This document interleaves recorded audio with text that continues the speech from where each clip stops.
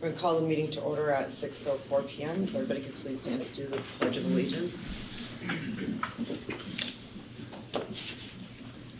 I pledge allegiance to the flag of the United States of America and to the republic for which it stands, one nation, under God, indivisible, with liberty and justice for all.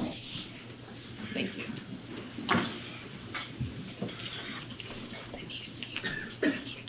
Thank you. All right, our next agenda item is the recognition of Don Collins receiving the Stafford Bell Award. Um, Who's got control? I know, congratulations, Don. It was some really excellent pictures. I don't know if everybody saw them in the St. Albans Messenger of Don with his awards. Great achievement. Congratulations. Thank you, thank you. It was uh, a surprise. Supposedly they had mailed me a notice, but I never saw it. So I walk in the conference and as they introduce all the different vendors there, I'm thumbing through to find out a little more about the guest speaker. Flip to that page and there it is, but no, it's nice. They don't give it every year either. It's quite interesting. They've given it only thirteen or fourteen times in about thirty years, but it's nice. I want to thank Remitt. He did some photography. You, I think using Julie's phone or something, maybe his own. No, I, it was my, it was my phone. I, we had to make sure to capture the moment. It was a big deal. So anyway, it was, it was nice. And I've received over two hundred emails or phone calls. I stopped counting when I got to two hundred emails, phone calls, and some letters. The best ones, well, they're all nice, but from students I had like fifty years ago Wow. at Lamoille. That's So they remembered. One, one woman wrote, I remember the junior high dances where you made us follow all these strict rules. But then, then they'd come and ask you to dance. Anyway, no, very nice. Um, But you know, it's one thing, whether you're an administrator, school board member, whatever, you never really accomplish it if you don't work with a team. And uh, I had some real reservations on the side, like like when we tried to merge Swanton, Highgate, and Franklin. Would it, would it really work? But I have to say, it it really has worked. And I think it's because of the people. I mean, facilities is a good example. I don't always agree with Peter, but Peter, and if it's Toby or Remick, well, no, we work it out though. Yep. We respect each other's knowledge, and and we have different knowledge bases. So Anyway, thank you for putting it on the agenda. I feel badly for Julie. Is she there or somewhere? Not yet. But, Yeah, uh, she's there. Thank you for, for doing that. uh, It was good. No, congratulations, Don. That's uh, well deserved, and I think for uh, new board members, and I know it's certainly true for me that uh, you were someone to uh, look up to and learn uh, how to do this job. So I I appreciate all your uh, your work that you've done for this board as well. Well, Thank you. Just don't take my bad habits.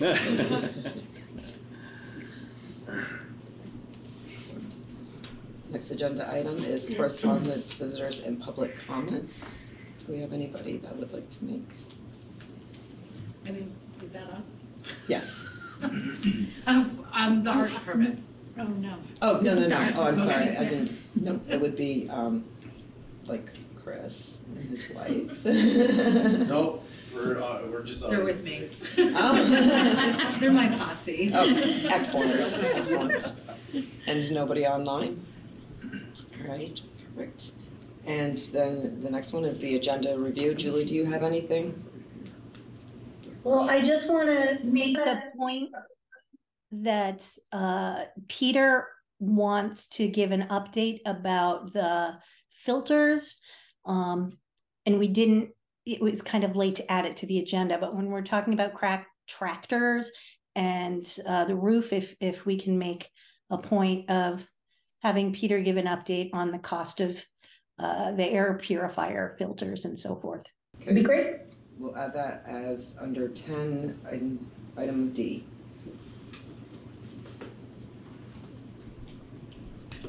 Thank you. Next agenda item is the approval of the minutes from October twenty-fourth.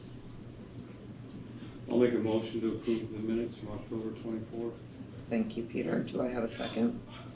I'll second. Thank you, Renick. Any discussion? Okay. All those in favor, please say aye. Bye.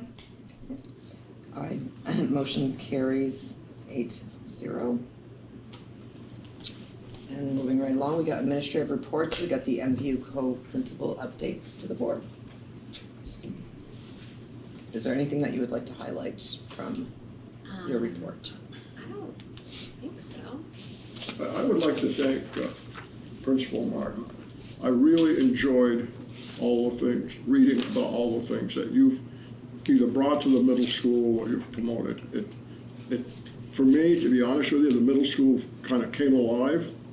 I loved middle school when I worked there most days, uh, but anyway, but it was good. It Sounds like a lot of exciting educational things, and school has to be fun some, some of the time, so I wanted to congratulate you. Thanks. Any other comments or questions? Do you have any update or any more information on the FFA trip? I know we approved that uh, a month or so ago. I think they're Overall, going how to it be. went. I think they're they going to be- coming? I think they're going to be coming in. I don't know. Okay. Joanne might know more today, I don't know. Yeah, I, they will be coming. December. Okay. Okay, December. yeah. Yeah, I was gonna say next month. Yeah, The one person I talked to said they had a very good time. yes. I don't know if that means it was a good trip or not. I- It was, it was a good trip and it was, um, they were honored in, um, I don't wanna give it all away, but they did receive a bronze medal. Um, and, and they brought back a lot of information and there was, there's a lot of talk already about, you know, next year. So, that's always good. Excellent.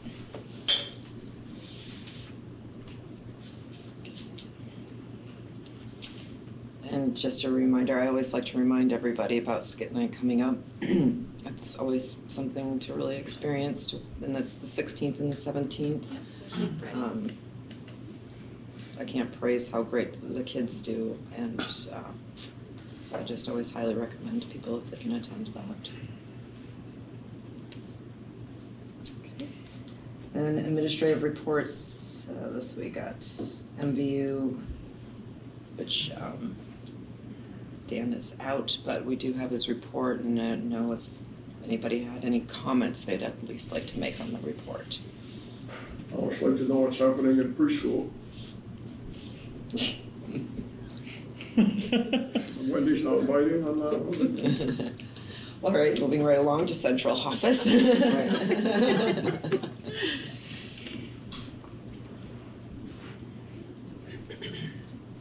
I don't think she heard you. Beth Ann? Can she hear us? They can't hear us. It'd be, No, but they- Wen- it'd be Wendy. Uh, did anybody send you the two words? No, but I'd love to hear what yours were. I, I, I thought my two words were exciting. That was the first thing that came to my mind.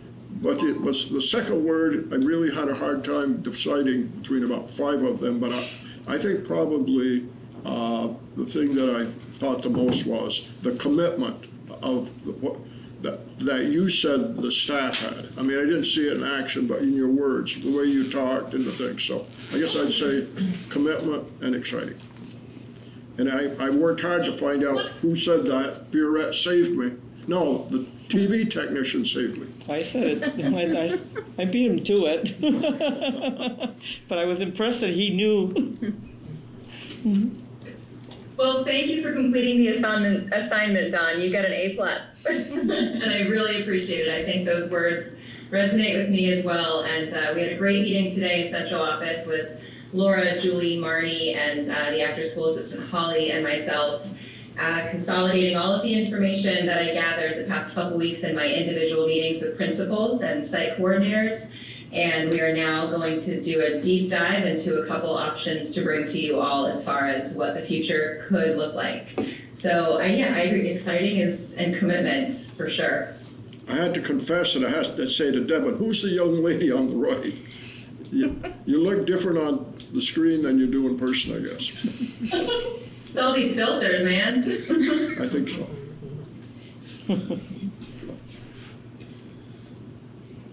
Okay, any other questions or comments for central? Wendy, office? did you have an update about preschool?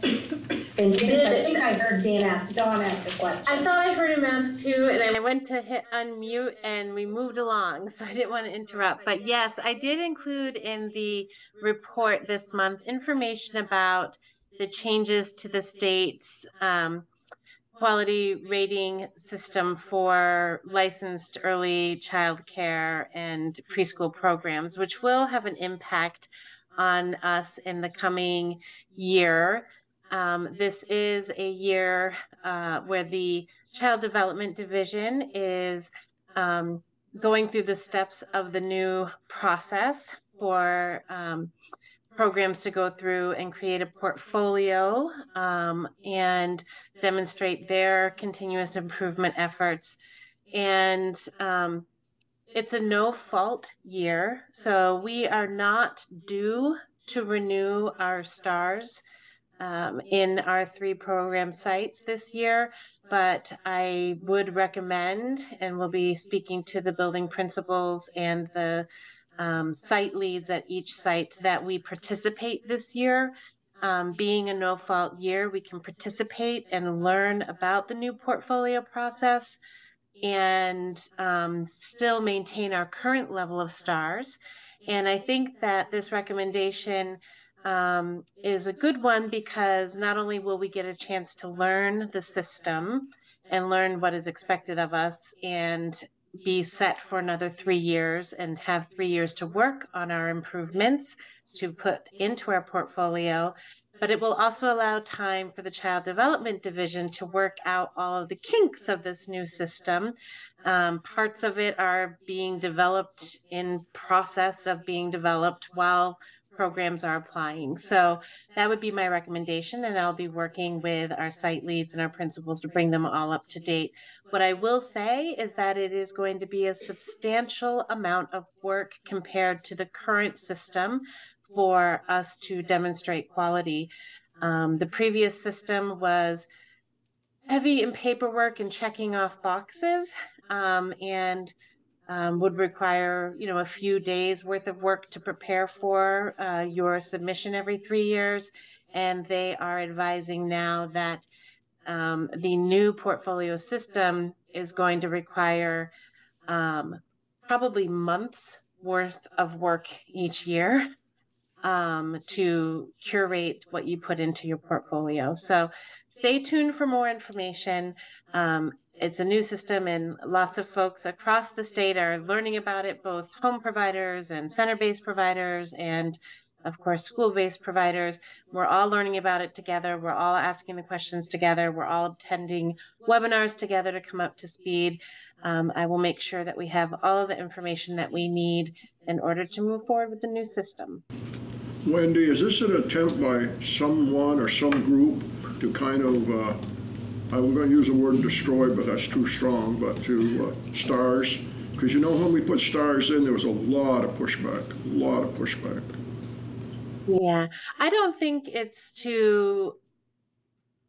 What I think um, and what I've heard is that it is to shift the focus from being able to check boxes that indicate quality but may not actually play out as quality in in actual classrooms and experiences for kids and to push the field to actually engage in activities that really do um, accomplish high quality environments for students, uh, for children in programs. So that is what um, I've heard in several of the um, at several of the tables that I've been at around this, and that was feedback. So this is actually an anniversary year coming up, Don, and you and you know this. This is actually 10 years of UPK um, in 2024, and the feedback in this two year 10 years has been that this that there are programs out there that would have four and five star ratings,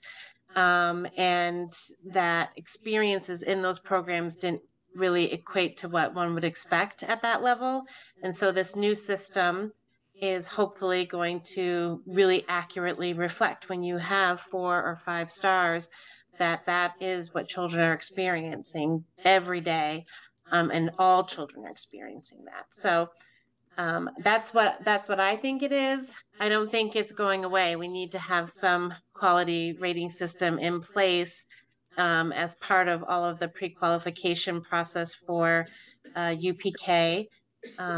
So I don't think it's trying to push it out, but just to have it grow toward, I think, more of what it was intended to be in the first place. Thank you. Thank you. Thank you, Don.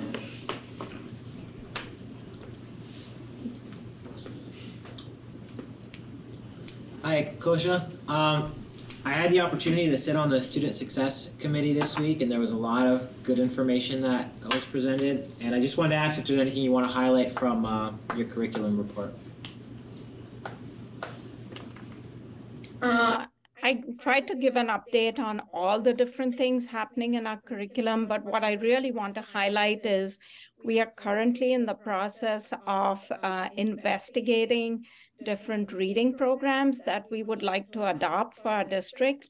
We are following a very similar process as we did for the math program last year. And our literacy, uh, elementary literacy coaches are working really hard with me to go visit different schools, as well as to look at research reports. And uh, we are also consulting with Dr. Sarah Lupo to really come up with something that will support reading in all our elementary schools. And just like Wendy said, for all our students, um, especially our students who are in those vulnerable populations and who need additional support. So we are looking for a program that is high quality and also has supplemental um, uh, parts to it, to it, which we can use to uh, help all students. How were the visits? I noticed you've been doing some visiting teams. Have they been worthwhile? Yeah, they've been great, and um, we just finished a visit in Burlington uh, last Friday, uh, and uh, Stephanie was wonderful. Uh, really helped us to look at different parts and how they rolled out their program. We've been to Winooski. Uh, in spring, we went to Maple Run, and we also went to Grand Isle. So we are using all our regional partners to see what they've done, how they've rolled out their programs, what does it look like in the classroom, and it has been a really good experience. Good. Thank you, Kosha. You're welcome. Any other questions or comments? Peter? Just um, wondering, and I don't know who wants to answer, but uh, I was wondering how attendance is doing, how uh, many students are missing, whether it's because of sickness or overall. I know we've struggled with that in the past. Is this year an improvement or is it getting worse or? It's not getting worse. Um, right now, our numbers are slightly worse than they were last year, but not, not significantly. Um, there has been a lot of students sick this year. We've had, um, some students out for a, you know, chunk of time for different kinds of reasons, but very legitimate. Um, and there's still some of those same um, students who struggle to be here every day that we're working with. I actually met with Celine right before I came. Um, she stops in. We have some students we're working on together. And um, so she's, you know, right on it, checking all the time. We're um, following up, reaching out to parents, trying some different things for some students who just have a really hard time being here. So I, um, I would say that the numbers around the district are slightly better. Um, at the middle and high school, they're very close to what they were last year. Um, and some of those are some special situations that had they not been in there, we probably would have been doing a little bit better. So, I don't, that's, sometimes I have to be vague because it might identify a, stu- a student, but it's, it's, I would not characterize it as worse. Okay. Who's coaching the math league or advising the math, the team on the math league? I am not. I was really pleased to see that. Yeah, let me, um, Lauren Tillotson. is it Lauren? Yeah, I think Thank you. Lauren Tillotson. Lauren Tillett. Yeah, sorry, I didn't, I didn't know. Not sure. I know.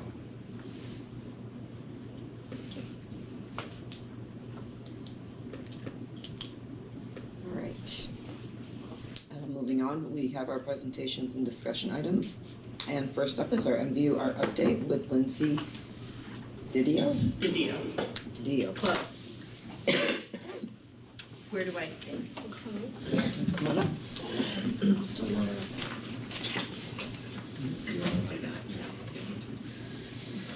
I got a little overzealous with the slides. There's just so many pictures. Uh,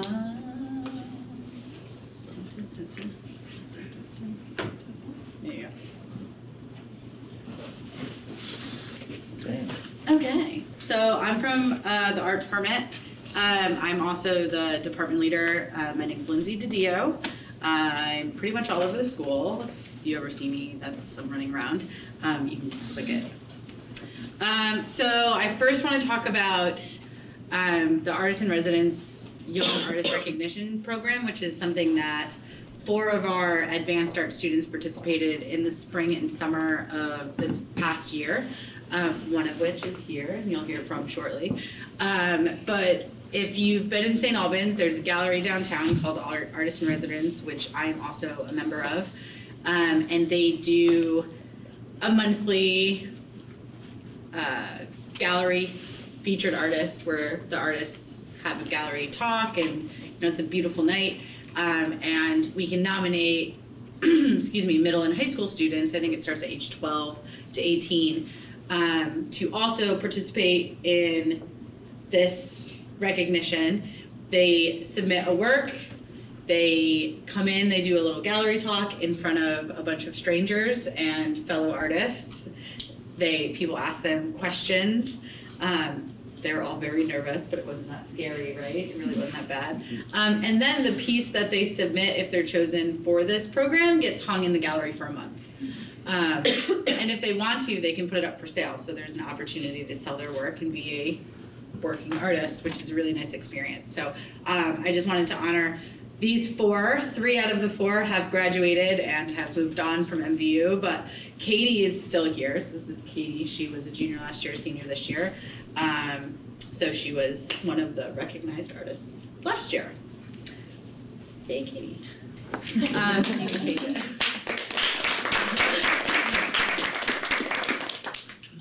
You're gonna hear from them in a little bit.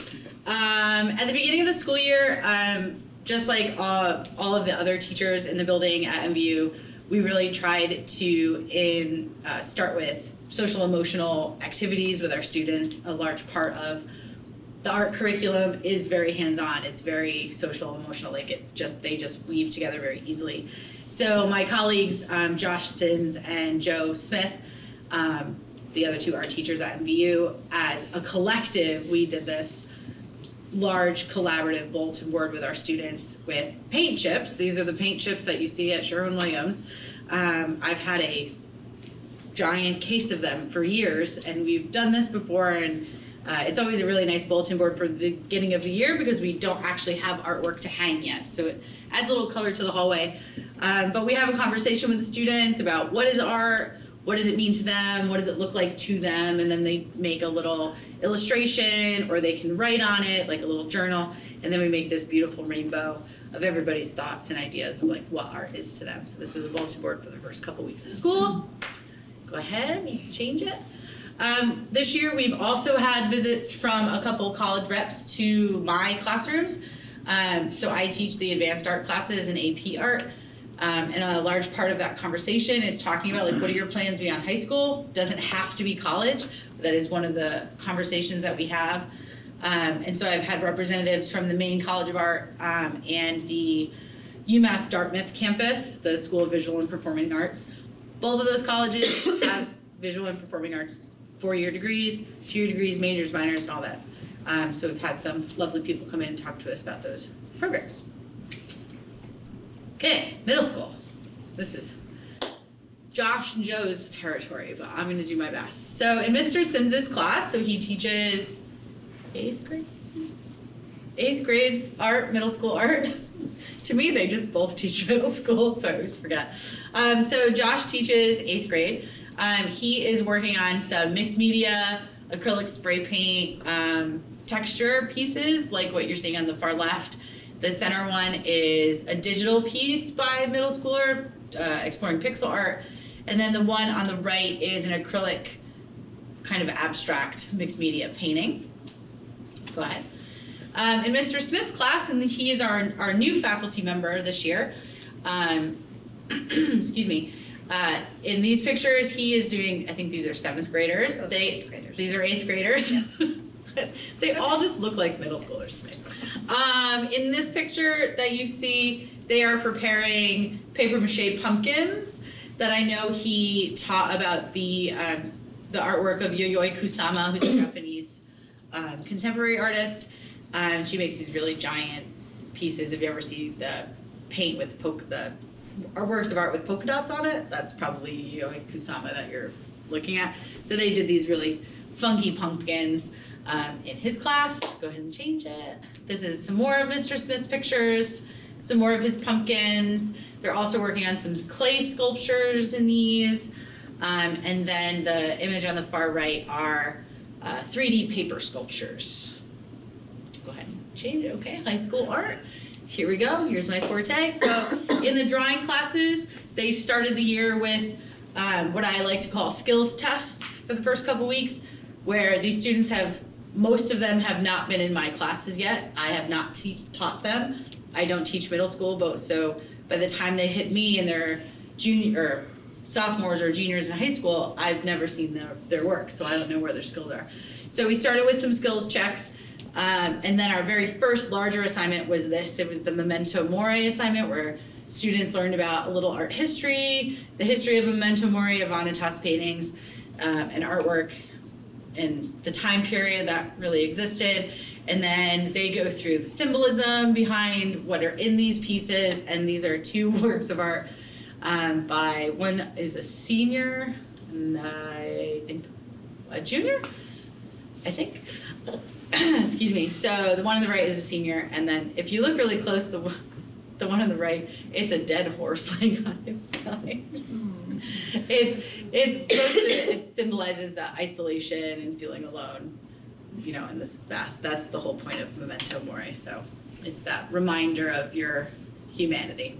Um, so yeah, so that's where draw- drawing was starting this year. Now they're, they just finished up portraits, which I think is the next slide. So here's two examples of students who have drawn portraits. Um, the one on the right is a self-portrait. The one on the left is a portrait of their friend. Um, but yeah, both graphite pieces, uh, junior, sophomore, and a junior who have done these pieces. So really proud of them. The fabric on the one on the right is wild, so good. Okay, you can go to the next one. Okay, and then we also have a painting class. So again, painting started with a skills check in the beginning of the school year. Um, and then we started working with acrylic and gouache, which is kind of like watercolor and acrylic had a baby. That's kind of what kind of paint it is. Um, the image that you see on the right is a tiled portrait. So each student in the painting class painted two of those tiles. And then we put them together as a larger picture, which I just love. I'm like obsessed with that project. It's kind of abstract, looks a little different. I just think it came out so great. Um, and then the image on the left are Pantone color cards, which are about that big, pretty small. Um, and the students, we talked about color theory for this assignment, and they chose the card, which is that Pantone color 9320, which is the pink, right, Katie? Yeah. So it's that pink color in the background of that. Those are actually two of Katie's paintings. Um, the pink color in the background on that card, and then they were asked to paint something that is that color kind of sparks and associated with that color. So people would take, you know, a red card and they'd painted strawberries on it or something like that. So they were connecting the color to the subject matter. Uh, so yeah, so there's painting. The, those are actually still hanging in the, you can see them on your way out tonight if you go past like the J-Pod entrance into the theater. You go out that way, it's hanging up on the bulletin board out there. And then in AP, we have nine students enrolled this year. One is submitting a three-dimensional portfolio. Three are submitting drawing portfolios and five are submitting 2D portfolios. Um, we have two students who took AP last year who are taking it again this year, which is an option. It's not like they didn't pass and are taking it again. Um, but they loved it so much they're taking it a second time. Um, uh, so in this, so far this year, students have begun writing their sustained investigation statements, which is essentially the, their thesis statement for the year, which their body of work is going to respond to.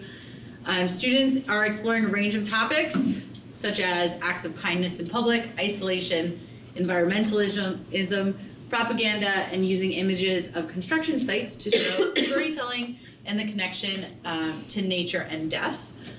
Go ahead. This is where our AP students start. So if you look at the image on the right, that is one of their sketchbooks. They start with some research. They look at artists who also create work in kind of that theme. Um, they do some brainstorming thumbnails in their sketchbooks and then kind of hash out what their idea is. This is, this is an acrylic painting um, on a piece of sheet metal and it is a response to um, this is part of the environmentalism theme. It's a response to an oil spill. So she was thinking about connecting her materials and the synthesis between the idea and the materials by using sheet metal as the substrate that she painted on because of it reminded her of like the big, you know, oil rigs that are made out of metal um, and when they spill and bust open, all that. So if you were to look at this piece in real life, there's also some like metallic copper on, uh, paint in there that really makes it shimmer that kind of really looks like it's an oil spill. Um, so this is an example of one of the earlier AP pieces this year. Um, okay, Katie and Brooklyn. So now I'm gonna hand it over to these two lovely humans. Um, Brooklyn is our. I'm the president. Nice to meet you all. New president this year, and Katie is our vice president. Thank you. Uh, yeah, so uh, I was already introduced, but I guess I'll introduce myself again. uh, I'm Brooklyn Rainville. I'm the president. Uh, this is Katie. Yeah. Uh, I'm Katie Shepard, the vice president. Where's uh, Hmm? Where's, where's, where's, Go ahead, you can change that. Oh, Blue shirt. sorry. Yeah, just yell at me. So um, these are our officers. We vote on them every year, and it's basically just a way to kind of um, shift responsibility onto the members of the club and teenagers. Um, it gives a lot of power, and it kind of helps for teenagers to uh, represent themselves in an organization that's ultimately about uh, teenagers. Uh, yeah. Uh, so these were our members um, slash officers. Um, as you can see, I'm the president. Katie's there as the vice president, and then we also had um, Vinny and Amelia as our historians, which means they document our service service events. They document um, like field trips we go on, and then we also had our secretary uh, Xander, who um, documents like attendance. The vice president do attendance or secretary? The vice president does it if the secretary is absent. Yes. But the secretary's main um, duty is attendance. So they take attendance, they keep track of um, what we talk about during meetings, stuff like that. Um, our generally everyone helps with agendas, everyone helps like kind of run service events, stuff like that. so we can go to the next slide.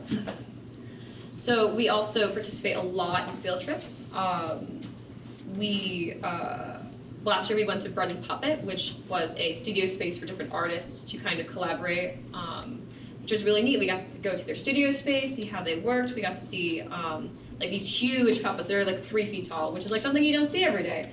Um, so that was neat. Um, and we also helped pay flyers and kind of help them with their traditional duties. We also went to Montreal uh, for the day, and that was fun. We went to an art museum. We did a scavenger hunt, which helped us kind of navigate the museum and see the different art pieces available. Katie had some stuff about that too. Uh, we did do the scavenger hunt in the museum, and then afterwards we got to um, explore the Montreal area. And so we got to continue the scavenger hunt, looking at the architecture and the culture and any art in the area. And so we got to see more of Montreal's culture through the scavenger hunt and just being able to wander around and go in stores and try the food and all of that. Yeah, uh, it was a very interesting experience. Again, art that maybe not isn't as popular around here because we do live in like a smaller county, so it's kind of hard to experience some of the uh, artistic culture, you know. Uh, we went to recently. We went to the prom at the Flynn, uh, which is a musical about uh, a girl who wants to go to prom. Uh, it's implied by the name. So, um, and that was fine. That, I shouldn't say fine. That's not very like uh, presidenty. Um, but it was a really fun time, and you know we got to see volunteers who were adults and in college, which I think is a really inspirational thing for uh, high schoolers who do um, volunteer theater. I think it's cool to see where that hobby could lead them to. You know, uh, yeah. We also went with the the music and theater department. Was that was like a combo field trip? So it was the two of us that went. Yeah. Um, and then upcoming, uh, today actually we went to the Fleming Museum at UVM, which was another really interesting experience. Um, it, as opposed to Montreal, where we saw art, a lot of art that may not be available around here, uh, UVM had a lot of art that kind of showed like what students can do if they stay in Vermont and decide to pursue art, which I thought was uh, really interesting. Um, there was a lot of stuff about native culture, specifically Abenaki. I know that's a really important thing for our school, so I think that's a good thing that members can see like uh, represented artistically. And yeah, do you have anything to say about that? Or?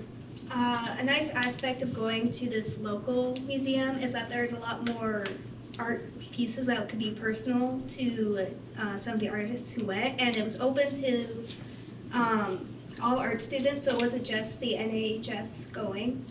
Um, so it was a good opportunity to see kind of like culture from our area and to see opportunities in our area. Yeah, and then we also have um, another visit to Shelburne Craft School, which I assume I don't know much about it yet, but I assume we're going to be seeing studio space. And Yeah, that would be like uh, BCA and the Shelburne Craft School. I'm working on getting like a day field trip where it's hands-on. Like they would be in the pottery studio, they would be weaving things, they would be doing something in the wood shop. So, yeah. So we trying, I'm working on it. Yeah, so we can see how artists actually work, which once again is really good if a student wants to pursue the arts. They can see like what a artist who makes money looks like. And then Katie had some stuff about Art Quest, uh, basically her experience last year. Uh, we are planning to do Art Quest later on this year, but in a past year, uh, we did Art Quest in Burlington on Church Street, and it was a great opportunity for us to see Church Street in a more artistic lens, and we got a chance to see the art displayed there, the murals, the statues that are all up around the street. We got to look at like the some of the stores maybe we wouldn't have noticed before, but now we could see the like art stores they had there with local Vermont art, and we got a chance to leave some of our own art, leave pages of our art in books in libraries or on like car windshields just to give away to someone. And so I think it'll be uh, great to do it again. You can go to the next slide. Oh, Oh, wait, do we want to? New York trip? Oh, yeah. I can talk, I can talk about that one. Um, so we're hoping that next year in the spring, the NAHS will be doing like a f- relatively long, um, four or five day trip to New York. Like that's, that's our goal. So we're doing lots of fundraising. So, you know, keep that in mind, um, to get them down to New York. So this is an image from Uh, prom, yes. So this was a group photo taken outside before the show. Uh, I'm in the front looking sufficiently awkward in my coat. Um, yeah. Yeah, that's Yeah, it. that's There's- it, yeah. Now there's just a bunch of pictures if you wanna um, Yeah. flip through, we can tell you when they are. This is from this afternoon. Yep. They were not thrilled I made them stop and take a group photo, but I was like, I need something for my slide. Yeah. And then there's uh, some students looking at Asian inspired art. Mhm, Yep, this was in the Asian Art Gallery. Yeah. Which used to be the reading room way back when. So that used to be a reading room. You can kind of get the vibe of a reading room with the big arched window, and um, it really felt like a reading room. Like they had built these stub walls to put work on, but it felt like there should have been big loungy armchairs and things in there. Um, but it's a cool gallery. And then this was last year at Bread and Puppet, so once again, you can see me looking sufficiently awkward. Uh, this was at towards the end of the trip, um, just us taking a group photo again Yeah. to document that we were here. It was a lot of fun. They they painted like Brooklyn had mentioned. We, they painted posters, and part of what funds Bread and Puppet is the sale of that artwork. So we were the kids were uh, contributing to that right to that um, process. They also got to meet Peter Schumann, and he made them um, his very famous garlic aioli and the the bread that they serve, the sourdough bread. So they all got to try it. It was actually fabulous. When you go to an event like the prom, can every student go who wants to go? How, how do you determine who goes and who doesn't? Uh, typically, it's kids who are associated with the drama department. Um, so if you are very active in the artistic community, usually you'll hear about it, and that's how you know to get the permission slip. Personally, I tend to be involved with the backstage aspect of the musical, and so I was invited to the Google Classroom, um, and that's why I heard about it. I don't know if like random students would be able to go. Would that be a thing? No, I don't think so because that one was like specifically paid for by the program and by like the NHS. We paid for the busing. Um, and then the money for their tickets came out of the theater budget. So, um, and same with like our Flynn field trip today. We paid for the busing out of the art program. So the any art student that was in a high school art class was able to go. But like Um, a random kid would be Right, but like Joe Schmo who just wants to go hang out with their kid or their friend, probably not. So when you say we pay for it, you mean the school district pays for it? Yeah, yeah, like it came out of the art budget. I was hoping you weren't uh, having to raise money. for- No, no, no, no, I'd be talking to Mr. Lumsden.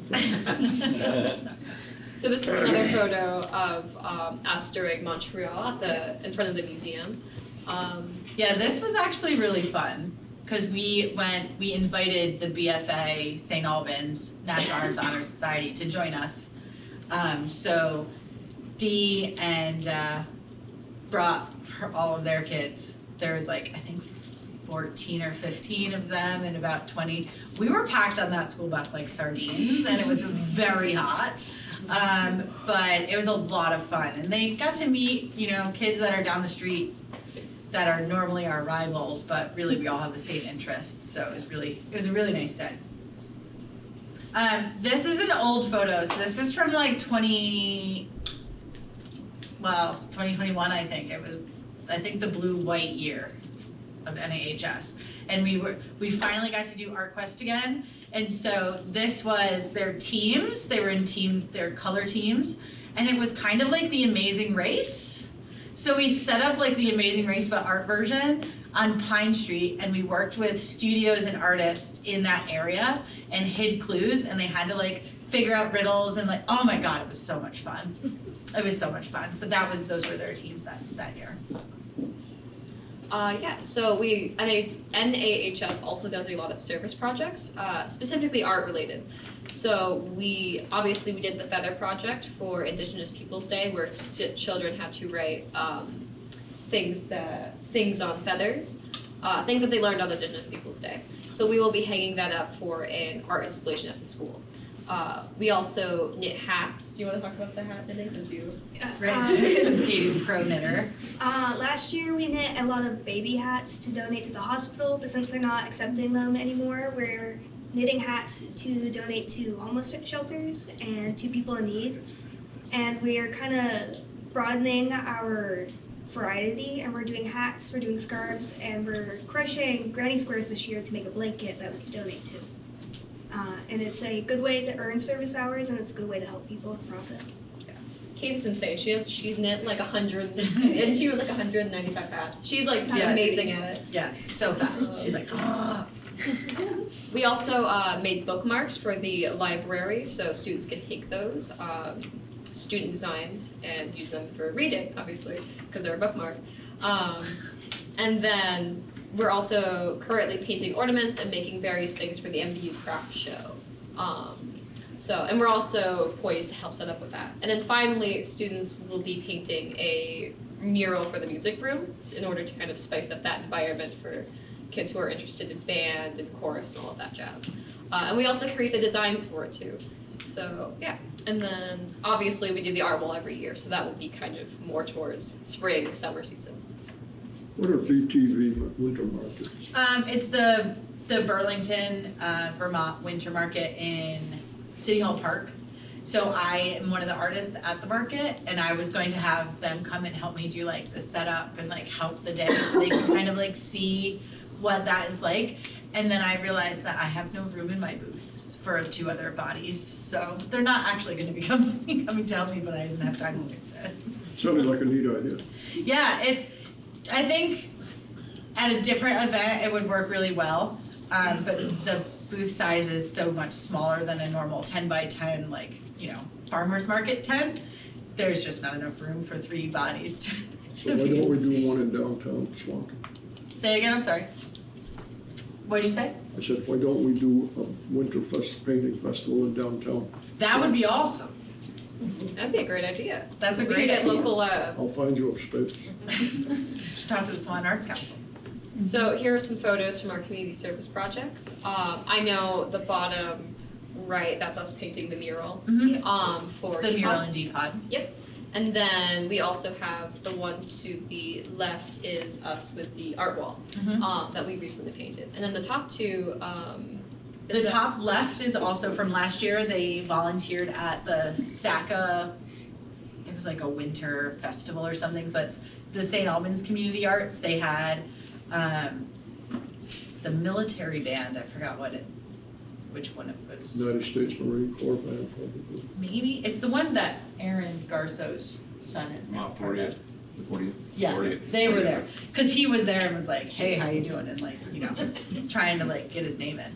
So they came and played, there was like, some vendors there, there were kids' activities, they helped decorate cookies and moved chairs and then helped vendors carry tables and stuff to their cars at the end of the event, and that was a lot of fun, that was a And full I, day. and then I assume the one on the right, top right, is the donating of the baby Yeah. hats and stuff. So that's a couple of years ago when we were, this is pre-COVID, so this is a while ago, when we were still allowed to bring the baby hats into the birthing center at the Northwest Medical Center. They could like actually physically, so they used to like wrap the boxes. You see, it looks like the snowman. They had, it was like their favorite day. We would do it right before holiday break um, in December.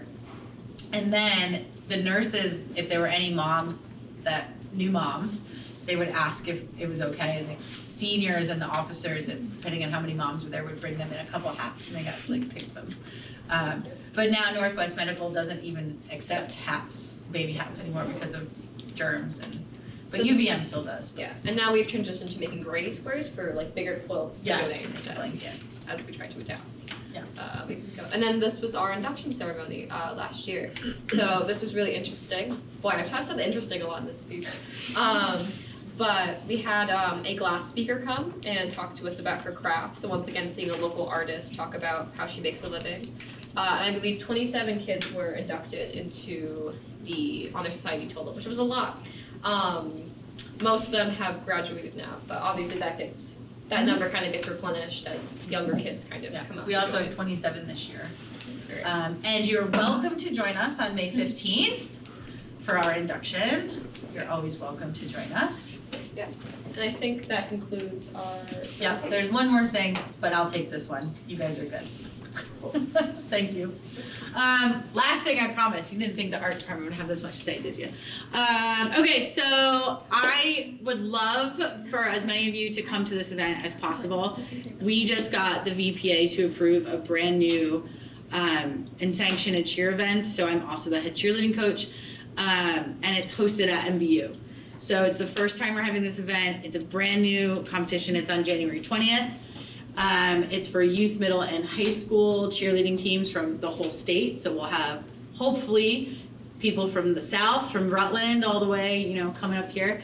Um, like we said, the NAHS induction is May 15th.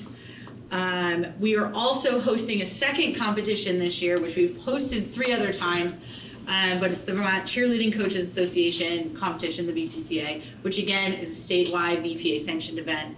Um, the every single year we've hosted it. Well, one year we hosted it was during COVID, and that was virtual, so that doesn't count. But the two years that we hosted it on site, every single seat in that gym was filled. We had to open the doors because it was getting too hot because there were so many people. Um, we had to tell people they weren't allowed to come in. People were sitting on the floor. Like the gym is full because we get so many teams. We had 46 cheerleading teams the last two times we had it in person here um, show up, and it is wild, and it is a fun day, and it is enjoyable. So I encourage you to come. Um, we will also have the Spring Youth Art Show, which we've been doing with the Swanton Arts Council for many, many years. Um, we have not solidified a date yet, but that's usually around the end of April, right before break. Um, and then Fine Arts Night is May 22nd, which is where chorus, band, and studio art, um, we all get together and have like an awards night. They do performance, we put up a show. Um, so we started combining those things last year. So this year it will also be May 22nd. Does anybody have questions? I think that's it. Yay! You're good at sports. Thank you. Does anybody have any questions or comments? Very nice. Yeah. Gonna put the pressure on Mr. Anson to even come close to. Come on, Lummy. Pressure's on, right? You, but you know how to talk about the cheerleading competition, I already Yeah, did. Guess I know what I'm gonna do. Rewrite that note. Well, thank you and coming to share with that presentation. Ladies, thank you as well for coming. We appreciate it. Uh, thank you for having us. Yeah, appreciate it. There's a fellow with a beard, a pending artist. I can't draw a straight line with a ruler. I don't know where she gets her talent from. Welcome, Chris.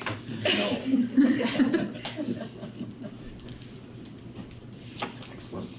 All right, uh, John, are you ready for yours? I am. Thank the students for coming. That's Yes. always great to see students. Makes our meetings better.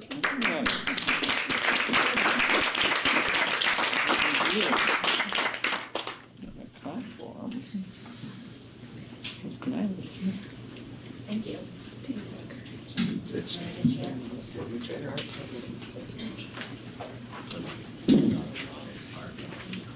Be great. I can't control the temperature on that bus. Donnie, gonna help, uh, maybe on the twentieth, I'll see you there. Good. Okay. Uh, thank you for the invitation. Um, I think Brett sent a link out to, uh, members of the fall, uh, athletic director's report. Yeah, okay, good. Yep, I I don't really Maybe Jerry, maybe? everything. Maybe it's Jerry. Um, But just a few things, I just want to highlight. One, uh, our biggest increase in participation was in cheer. Lindsay does a great job in that cheer program. And uh, this year, for the first time, we were in, ended up having a varsity uh, girls volleyball team. And I just thought it would just be one varsity team. It turned out there were enough uh, student athletes in that group that uh, there was enough for a JV team. So uh, that JV consisted of uh, 12 young ladies there. So it was a, a boost to that program. Um, some dates that we had some meetings, uh, our new soccer scoreboard, which was 30 years old, uh, we ended up replacing that this past summer prior to the season starting. Uh, homecoming week was just a lot of fun. It, I've had many coaches and I've had some parents and uh, say that, you know, the parade, uh, feeding, you know, 335 kids uh, pizza and drinks and having them decorate their floats and wearing their uniforms and having the parade through town is just a highlight for that day. So uh, a lot of positive feedback on that. We will still continue to do that. Uh, The NVAC cross country, cross country race was held on a Friday this year, on October 13th. About 545 runners from 15 high schools participated. Uh, Thank you to Ken Santamore, the cross-country team, coaches, and parents for making this uh, a successful event. Recapping the varsity teams, you can see where our teams ended up at the end of the year. Uh, Many of our athletes were recognized in the Messenger for Athlete of the Week, and many were chosen for the all-league selections of first team, second team, and honorable mention.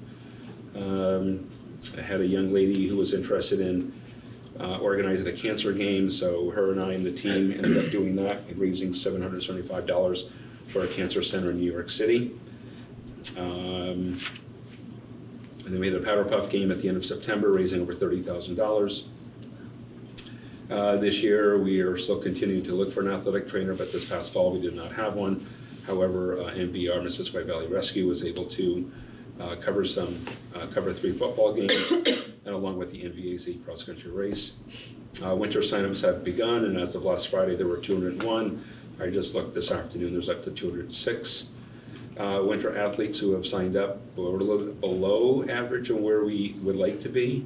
Um, And one sport is girls' basketball, where there are 14 girls who have signed up um, in girls' basketball. That's enough for one team, but not quite enough for the JV team. So I have a winter coaches tomorrow night, and we'll be discussing that um, and how we're going to figure that out. Uh, Dan Palmer and I just came back from a two-day uh, leadership council meetings uh, in Burlington, and we ended up taking eight student athletes there. Uh, That was a great time the last couple days. Uh, Once again, my winter coaches meeting is tomorrow night, and my middle school basketball team started last Thursday with the high school winter season starting the Monday after Thanksgiving, November 27th. John, why few girls basketball? Uh, last year, there were two eighth grade girls, and we could see this coming a year ago. So they moved up to ninth grade. Um, I don't know the reason. Um, it's just a low number in that grade. And um, so we'll see what we can do to.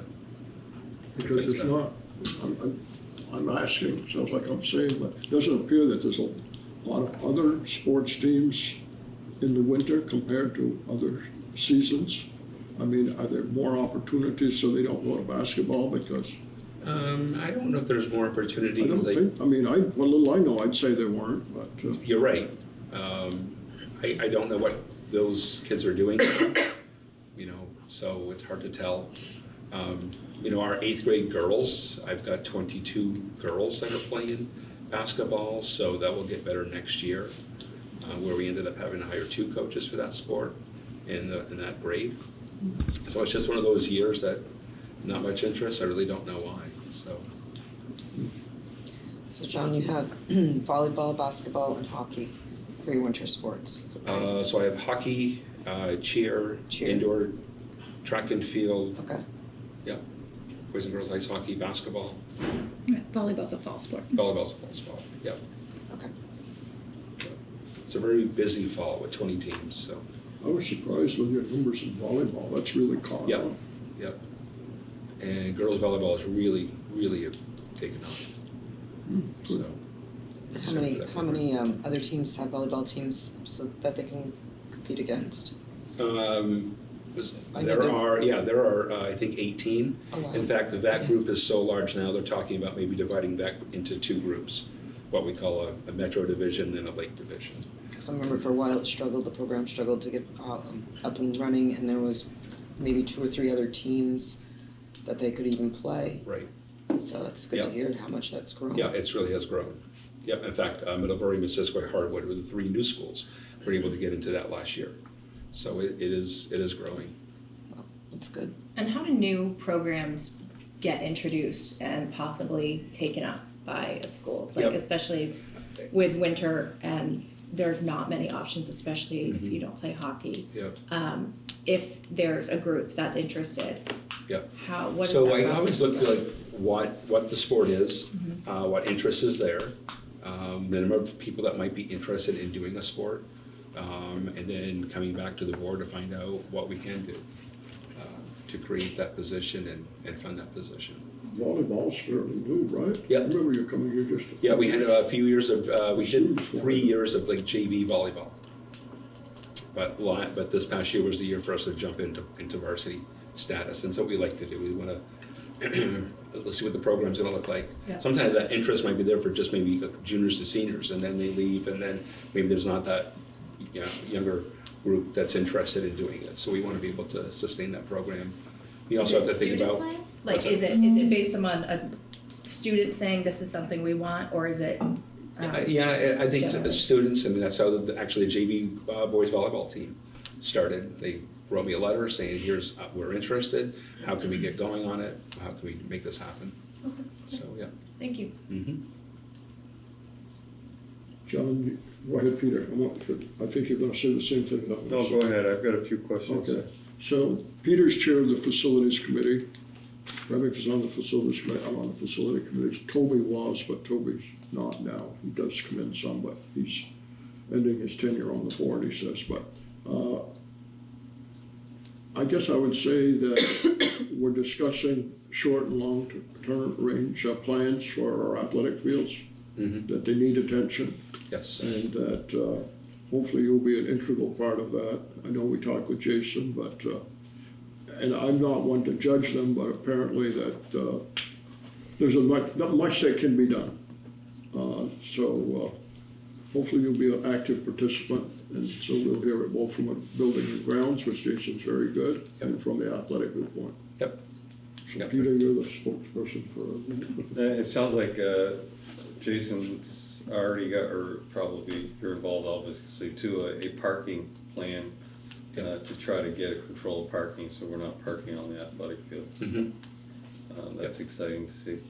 Now, I got just a few questions. Um, Really excited to see that uh, you had the cross-country meet uh, here.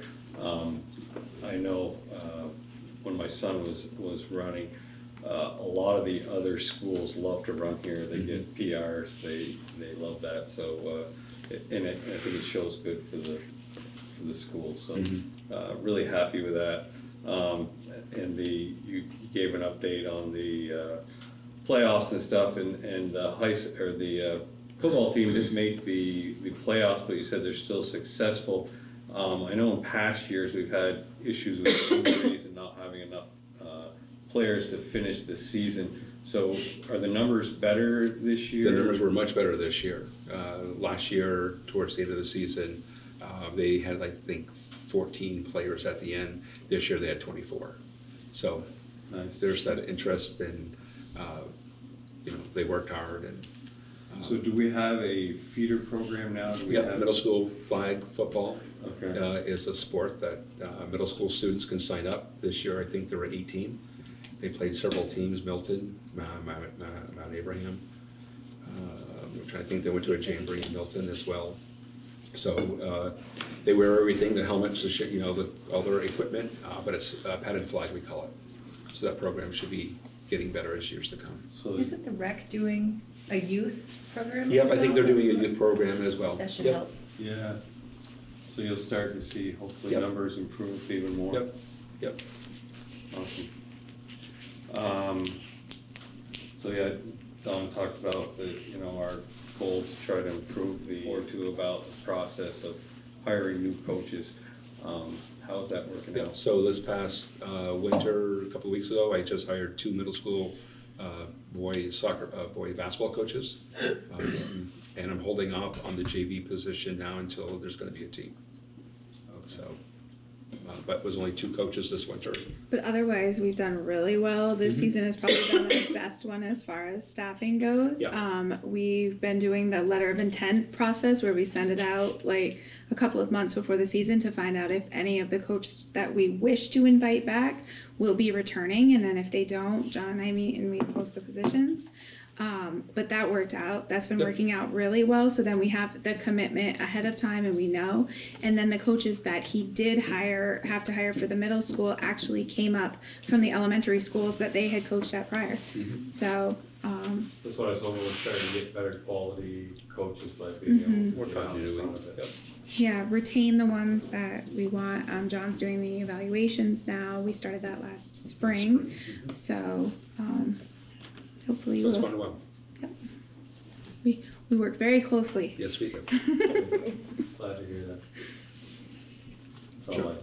There's one other issue, and you met, you're probably in the loop, but Laura and Julie have been working with Earl Fournier, a chair of the select board in Swanton, about land where we have our, our cross-country trail.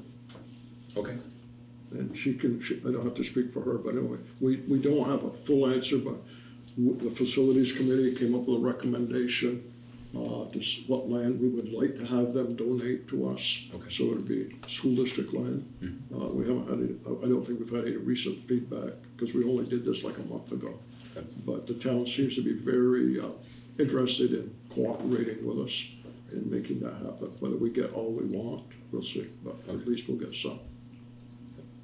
Perfect, thank you. Excellent. Any more questions or comments for John? Thank you, John, for the Thank update. you. We appreciate you coming in tonight. You could belong to the art department. What's that? You could join the art department. Good. I can't draw a straight line either. Surely. Thank you. Great. Next agenda item is our budget presentations and discussions with possible action. First up is Act one twenty-seven presentation, changes in education funding and revenue. I will share my screen. Laura and I were gonna practice today and go over who was gonna take which slide. I And then completely, that fell out the window I when I completely- fell over. I completely changed the PowerPoint after I listened to the VSBA, VSA meeting today anyway. Is- So, Can Julie hear us? Absolutely I can. I I heard a little bit about your accident, and I had a comment, but I'll share it with you privately sometime. It was a very graceful moment. Stafford Bell winner. I didn't do you hear what she- still want to take every other slide, Julie, or want me to just go? She was with Jeff. I am happy to do that and you jump in when it gets, uh, mathy. I can, I can start with the first one and then you, you can go from there. Does that sound good? Yes. Get this stuff out of the way here. Can you see it, Julie? I can, thank you, and I have it up in front of me on another computer too. So, uh, people have been talking quite a lot about Act one twenty-seven, which is a bill that, uh, went into law a few years ago. There was a long period of study and discussion and models of how to, uh, adjust the way tax rates are calculated and how we count pupils so that it is more equitable. And this is the year that it comes into practice. So the main idea of this study and law is that different types of pupils cost different amounts to educate. We had weights that have been in place since, I think, the eighties, but they really weren't in any way tied to what programs you have to offer to kids who are living in poverty or kids who are English language learners or, you know, any of those different pieces. So the idea was that equalized pupils really should make the average cost per pupil the same as it would be for an elementary pupil. So that really a shifting of how much it costs to educate different kinds of students. Currently, the equalized pupil process counts pupils in identified categories by adding weights to account for cost differences. There were lots of discussions about categorical aid, special ed is a categorical aid, for example. Um, but instead, we are getting different weights for how many students we have in different categories. We have uh, different weights for preschool, elementary, secondary, pupils living in poverty, students who are English language learners. This will change for FY twenty-five, and it's adding some new categories. Also, we're switching from long-term weighted ADM, we're switching to that instead of talking about equalized pupils.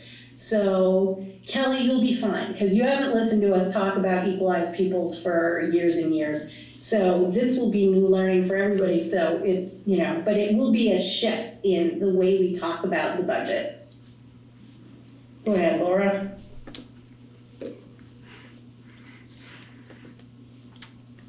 Oh, you want me to take the slide? I thought you wanted me to, I want, I thought you wanted me to advance, I, this is not math.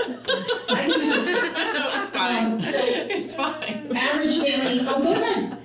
Okay. So the long and short of it is that the, the calculation um, is, is basically the same to provide funding to the ed fund. Um, But as Julie said, instead of using equalized pupils, the divider is now um, a long-term weighted ADM.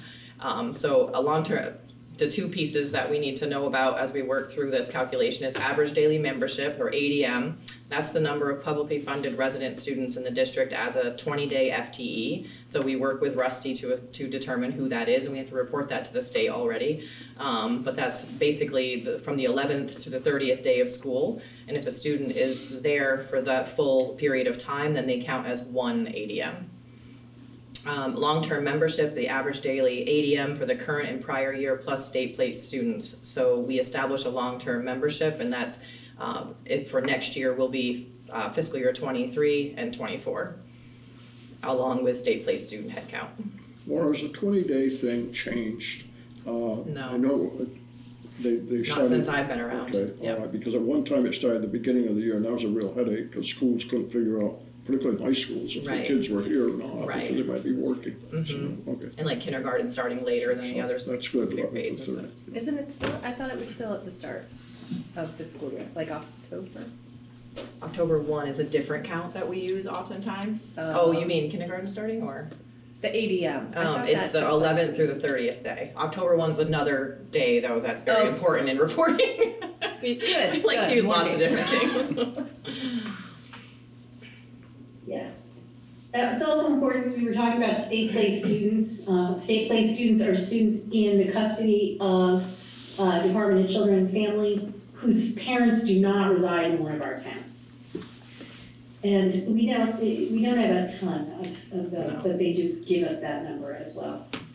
So the intent of these new weights and categories, um, a district advantaged by the new weights and categories in terms of long-term weighted average daily membership will have lower spending per student in long-term weighted ADM and subsequently a lower homestead tax rate. This district should be able to increase its overall spending to provide additional support for students in various categories. This will raise spending per long-term ADM, but also the homestead tax rate. But the district should be able to fund more services for students at or below the tax rate that it would have had without the new rates. So essentially, because they're adding categories and they're adjusting uh, how much a student who's uh, living in poverty or uh, a student who's an English language learner, they have adjusted how much that student counts. And so school districts who have a lot of students in those categories will have greater tax capacity so that the community can support those student needs adequately. That's the purpose of that. Um, the intent was not to have districts have a tax break, um, and not provide adequate services to kids. For a school district that's disadvantaged by the new ways, a higher tax rate will be required to maintain that same level of spending, and they are going to have to make adjustments over time to come up closer to the middle, ideally. So under Act one twenty-seven, um, Julie spoke about the weighting categories. So the new categories, um, are the grade level, which is a long-term membership, the poverty, free and reduced lunch status, and that's actually, um, more than that. It includes, um, basically any students that receive some kind of food subsidy in the state. Um, sparsity and population density, um, which is, um, well, it's, I guess it's kind of self-explanatory, but we used to get a small schools grant, now they've separated that into, um, a small school weight, but also a sparsity and population density, and we do, we, MVSD will be re- receiving funds in that category. Um, and English language learners, which is actually not, um, calculated with an ADM, that's an actual head count. Um, the weights do work in concert with one another, so oftentimes if one is going up and the other's going down, by the time you get to the final calculation, they can kind of mask each other, so I'll break those down for you later on in the presentation. Wasn't a lot of this, well, I know, I've been working on it for ten years, I guess, but it, this is supposed to help maybe rural areas a little more than some of the other Yes. situations, yeah. I remember Julie, Just, yes, services are harder to provide in more rural districts. Yeah. Things aren't just right next door. Transportation and, and uh, the ability to hire specialized teachers to support English language learners, for example. Uh, Those are harder to do when you're in a small school or farther away. So Julie. that's where some of that weight comes in. Julie and I were at Is the SBA a few years ago when we had the speaker. She did a ma, the, the person, the, the key person in collecting this data is out of the University of Vermont. I can't think of her name, but. uh, Kolbe, yeah. Did, Yes, Tammy Kolbe. She did a, a lot of uh, research to develop this, looked at how education is funded across the country, uh, and we all gave uh, a great deal of feedback into that report as well. So you can see just quickly how the weights are shifting here. Um, I don't need to read it to you. I'll just point out some of the biggest differences. Um, Yeah, well, yeah. I noted at the bottom, um, and this is actually one of the, the biggest uh, factors that's impacting the potential for MVSD, but poverty weight, weight per ADM went from 0.25 in the, in the current year, or what, what we're doing now, it's going to a dollar three per ADM, so that's, that's a huge jump. Also, English language learners. It's an additional dollar three, correct? Or one point oh. it's turning into one point oh three, going from one, Yeah. from point two five. Also, English language learners, I believe it was 0.2, and now it's moving to two point four nine. We don't have a large amount of English language learners, but, um, we actually, I believe we'll have, we have seven as of October one on this year, so, um, uh, there's actually a separate piece of, it- of this process that will allow us to obtain a small grant, a small fifty thousand dollars. Um, there's different brackets depending on how many students that you have. Um, but we will be in the lowest bracket, so we will receive the highest amount, which is fifty thousand, on top of this weight in our ADM. Um, because they basically know that to provide services for any ELL student, whether it's one or twenty, you have to have a certain base of, um, um, support services, so we have to have a teacher, we have to have supplies, so they just, they are, they're kind of compensating us for that, so that's nice. Let me see if I can move this. Laura, can you make that a little bigger, because I don't know that people will be able to see the recording on it, because it's a pretty mm. significant number increase. Won't let me on the, Okay. because I'm sharing my screen, it doesn't seem to want me to do that. I think it is, yeah, there you go, thanks Derek. You want me to take this one? It's very. Yeah, look, so Laura spent some time, she'll go through how she did it, but she spent a good deal of time, we have to calculate if we were using the current weighting system last year, what it would look like, and then forecast what it would be for FY twenty-five, so that you can make a comparison. Why don't you talk me through that? Sure, and I will just, I, I put a note on the bottom, but these are estimates for twenty-five, we don't have the numbers yet, so we can't do the calculation, but this is based on what we have, um, so far. Um, but basically, we start in the first column with the long-term ADM plus state place that we talked about. You can see here from, um, it's a, it's a two-year average, so in the current year, we would be using twenty-two and twenty-three if the law was in place this year. And our, um, long-term ADM would be, um, you know, seventeen hundred ninety-nine. Um, if we use fiscal year twenty-three and twenty-four, the long-term, um, ADM plus state place would be the eighteen twenty-seven, which is an increase of twenty-seven point eight nine. So our base, so to speak, is increasing. That's not true for all schools because some have declining enrollment we do not. Um, so that's, that's helpful. We then look at the grade, um, weighting, um, and, uh, it's based on these ADM numbers here, so in these top columns, you can see that we actually are increasing as well. Um, but you can see that the weight is going down. Um, so we're going from two 236 to 226, so we're having a decrease in weight of 10, even though the count is going up from 18 to 2054. And that's because um, we do not get weight for the elementary students. Elementary students are the base. And so that is our higher population right now, and some of the um, smaller is in the high school where you're getting the extra weight. So it will be advan- advantageous to us later on when those kids move up and we're receiving the extra weight. But for right now, we're actually losing ten point two two. Free and reduced, uh, or the direct cert list, which is the poverty weight, is um, something, a category or a factor that's really going to be benefiting MVSD this year, and there's a couple reasons for that. Um, one is the additional weight that we talked about in the last slide, so we're just getting a lot more weight for these kids in these categories, um, or the ADM in these categories. But also, if you look, we had six hundred and sixty-one, basically ADM that, that um, qualify for this weight uh, last, or in the current year, and it will go up to one thousand eleven um, next year in fiscal year twenty-five.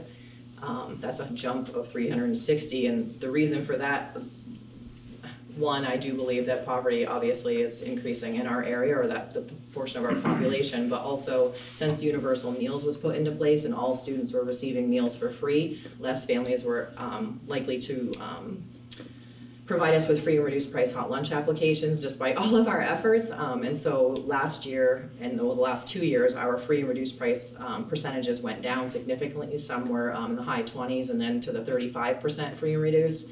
We are now in most of our schools over 60% and some are as high as 65. Um, and that um, a lot of that is because um, the direct cert now, the direct certification list now includes Medicaid students, um, and that did, wasn't the case before. We would have to report on, get those, that portion of the population to fill out applications, and that's no longer necessary. Uh, and that increased our, our Good. percentage So that's, significantly. that's so we don't have that fluctuation that we had when we had to fill out forms and something. Right, and we actually are in our second year of the CEP program too, so this will be our base year, so hopefully moving forward, we won't have to do that at all. Good. But this, this will, this extra weight is definitely going to impact our, um, tax capacity next year. It's a more accurate reflection of our student population as well. Exactly, yeah. Absolutely. And then ELL, you can see the current year, we, we believe, we have nine, fiscal year twenty-five, we'd have, we'll have seven, and so that we are actually losing a little bit of weight, um, with our ELL population going down, but as I said, because we're under, um, seven or under, we are actually getting the fifty thousand dollar grant, so that will, um, benefit us as well.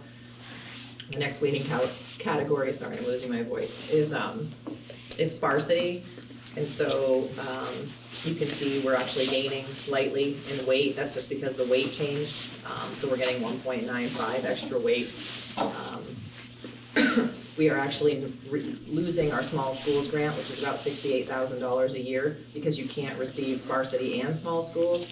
Um, but over, all in all, I believe the school district will be made whole, it's just in a different category.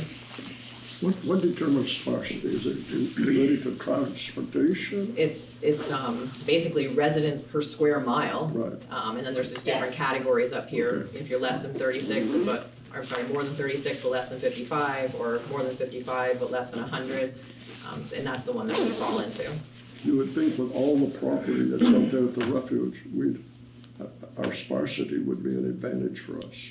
I do know that they're, um, currently working with the census office to gather new data, and it'll be interesting what that looks like. I don't know what year or what, when this data is from. Um, so overall, the total weight, you can see from twenty-four is, um, we'll, basically, we will gain thousand sixty-five, uh, I call them points. Um, and in, and in fiscal year twenty-five, we will gain, um, one thousand four hundred and thirteen, so overall, we'll have a, a gain of three hundred and forty-seven. Um, so our total long-term weighted, weighted ADM is basically this first column, add the weight, and then you get the total long-term weighted ADM. So you can see we're up three seventy-five point one four. So basically, this in, this will increase MVSD's, um, tax capacity. There are some people that are going down just as much. It's in different school districts. Yeah. Cora, can you explain this one? Yep. Yep. Um, so if anyone was in the drive earlier, you probably saw about seven slides that basically did this. And I tried to put it into one this afternoon. Hopefully that's easier. Um, but basically it walks you through sort of the impact, um, if Act one twenty-seven was in place for the current year, um, and the current calculation, and then what it might look like, it, what it would look like if Act one twenty-seven was in place and we were using long-term weighted ADM in the current year. Um, so right now, and what you saw when we were developing your budget and what taxpayers are, are, um, is reflected in taxpayers' bills is ed spending of thirty-three nine eighty-one, thirty-three million nine eighty-one. We divide that by equalized pupil of the seventeen seventy-four, and we get the spending per equalized pupil. Um, they divide that by the property yield is fifteen four seventy-nine, that's set by the AOE, or the state of Vermont, I'm sorry, set by legislature, and we get a tax rate of dollar twenty-four. Um, I'm, as I walk through this calculation, I'm going to show you how to, how we get to the dollar twenty-four with the new weighting. Um, if we applied the new weights that we just went through to the equalized pupil, so instead of the seventeen seventy-four, we would add the weight in, we would get to this eighteen twenty-two thirty-six. So then you're taking the same number, dividing by a higher number, so obviously your spending per pupil is going to go down. Same property yield, but we have a four cent reduction to our tax rate. So you can kind of see how the new weights benefit MVSD.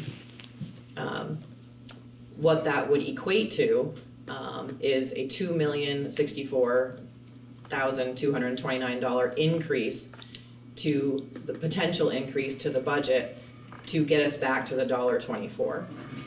So if we had um, the equalized people under the new weights in twenty-four, basically our, our, our budget could, could handle an increase of two million dollars divided by the same, um, long-term weighted, uh, sorry, equalized people with this, with the new weights.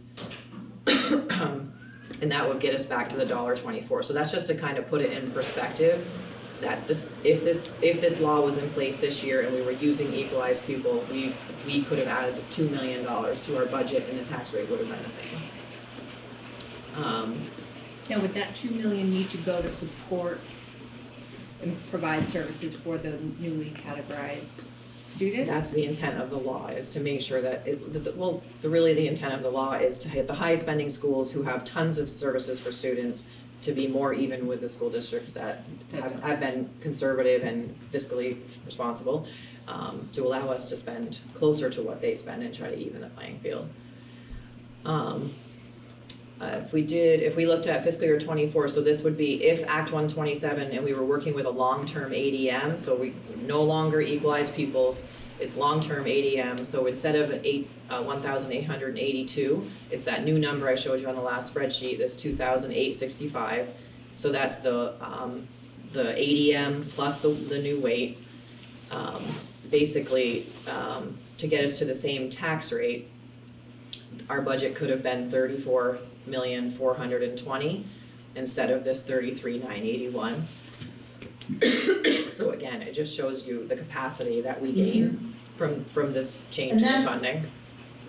Yeah, that's with a lower yield. You'll notice here mm-hmm. that, that Laura has lowered the yield to what the state is telling us to use as an estimate, because obviously, with all the shifts, the state has to still raise the same amount of money to educate all of us. So we expect, it would be, instead of in the fifteens, it should be around this. But again, we won't know until probably May. Which is the tricky part. That's good. Timing is good, when the ESSER funds leave, but Yeah. Um, Yeah, it is really, it is really gonna help with that. Um, we knew we would get a little bit of a bump, but we really didn't know the, the extra capacity for one time we were getting the jump in how many kids are categorized under, uh, poverty. Uh, because that was such a, such an increase for us. So Laura will probably expand on this a little bit more, but because this is a real change, um, schools who have had uh, much more tax capacity, have paid their teachers a lot more, have had Cadillacs, if you will, uh, of, uh, services and supports for kids, they're gonna need to be curbing their spending over five years. And then other, uh, schools such as ours that have some increased capacity, excuse me, um, will be in the position of increasing our budgets to a degree. So they have sort of an on-ramp and an off-ramp there.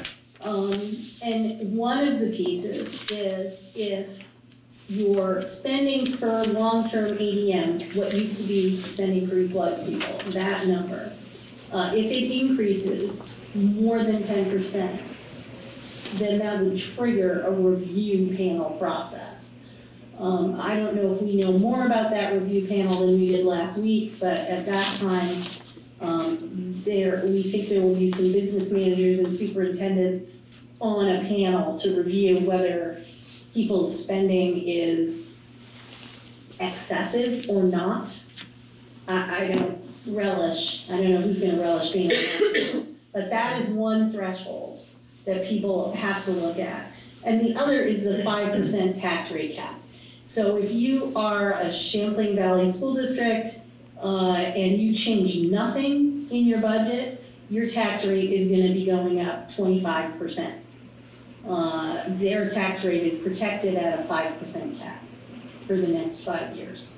But this applies to everyone. So Laura, if you explain a little more, but if you hit that five percent tax cap rate, you have some protection each year that you are above a five percent tax rate increase from year to year. So you get some protections there, um, in case you have any su- surprise increase. Um, if you don't meet that five percent tax rate cap, you don't get it in year two or year three through this on and off ramp process. And the intention really was to help the high spending schools reduce, but it also has an effect on schools such as ours that might be closer to a five percent tax rate cap. And then we have some decisions to make about what we want to do. Do we want to meet that five percent cap to perhaps protect us for the next year and so forth? To Julie's example um, of CVU, so if they didn't cut and they continued to spend the way that they have traditionally, they would trigger the fat, the, the five percent tax rate cap and potentially would only see that five percent increase over the next several years. But, but that does not alleviate the ten percent spending per long-term weighted ADM. So they, it would still, if they went up in their long-term weighted ADM spending more than ten percent, it would trigger a review. So they don't just, they don't, wouldn't just receive the, the break, so to speak, they would, they would still have to explain why their spending didn't go down. Um, I will add that it's interesting at hearing the different business managers and then the superintendents and things today, the take on this law and sort of the, people are forgetting the intent already and playing the victims. And so school districts like us are having to say, but you've been spending twenty thousand dollars per equalized pupil, and we've been spending fifteen, you know, for years and years and years. Um, but that's not necessarily the message coming from the people who are losing out of this. It's very much, uh, what are we gonna do? We can't cut everything, you know, so, which I understand, which is the whole point in the five percent, um, tax rate cap is to give them time to do that. But it will be interesting watching the news and, and school board meetings and all of that as, as this budget season goes by, because lots of difference of opinion, and there's major winners and major losers in the situation, They've lobbied hard against it, yeah. so sometimes you have to accept the fact that you lost. Right. So this is just outlining kind of what this, what the ten percent uh spending per long-term weighted weighted ADM threshold means for MVSD. Um, so the long and short of it is that this portion of the calculation is only based on the long-term weighted ADM threshold. It has nothing to do with the yield. And it is, the base for it um, is um, what our long-term weighted ADM would be for fiscal year twenty-four. So if you look in column one, this is the calculation this year. But we have to apply to make it even, to compare apples to apples, we have to, we have to turn this current year into a long-term weighted ADM and use the larger number to get our spending per long-term ADM. So that's why it goes from nineteen to eleven. If we spend ten percent more than that next year, it would be thirteen oh four three, or an increase of eleven eighty-five. So if MVSD chose to spend, we don't know what, we don't know what twenty-five numbers are going to be, but regardless, if next year our long-term, our spending for long-term weighted ADM goes up um eleven hundred and eighty-five dollars or more, it will trigger a review by that committee. So it's just good to keep that in mind as we, as we move forward, not that we're gonna be in this situation, but it puts it in perspective. And then I kind of tried to do the same thing for the five percent tax rate cap. Um, so this is only on the tax rate, so forgetting, so to speak, about the spending per long-term weighted ADM and just looking at these bottom numbers. Um, which we are still, we don't have all the information for twenty-five. Um, but basically, our tax rate right now is $1.24. five percent more than that is six cents. So next year, our tax rate cannot go over one, or if it goes over one thirty, excuse me, um, the, the rest of that increase, so to speak, would be forgiven. Um, and just, well, forgiven, it goes into the ed fund, because the funds still have to go from somewhere, so all the people who go over the five percent, the, the extra, or the above and beyond the five percent, those funds that need to be raised go off, go into sort of the big pool of the statewide ed fund. They still have to be raised, and that will impact what, what the yield gets, how the yield gets set. Um, but it won't be just the burden of MVSD or whatever school district it is. Um, and then just, as I said before, um, just because you kind of get this five percent safety cap doesn't mean that you are forgiven, uh, or the ten percent threshold doesn't apply. It still applies, and some people will kind of fall in those different, um, brackets. So the long and short of it is using 24's long-term weighted ADM and estimated yield, MVSD could increase spending per long-term weighted ADM by the one thousand one hundred and eighty-five dollars to the thirteen thousand forty-three without triggering the ten percent. Any tax rate increase over six cents or a dollar thirty will not be realized by MVSD and allows MVSD to carry the five percent cap security through fiscal year twenty-nine. As Julie said before, if you don't trigger the five percent cap security in year one, you lose it in year two. If you don't trigger it in two, you lose it in three, and that's only in place through twenty-nine. It's a tricky one, because uh, on the next slide, it's reminders about, the so we know the yield is going to be going down to equalize uh, how much uh, revenue the ed fund needs to support to all of our schools. Um, But i- i- they are asking business managers right this second to estimate how much money they're gonna spend so that we can have our December one tax commissioner letter where there is an estimated yield that's shared with schools. Um, again, the yield is the amount the state would pay per pupil if the property tax was a dollar. Um, we do expect the tax commissioner's letter to come out December first. Um, and so they are trying to calculate what yield we should use for budgeting.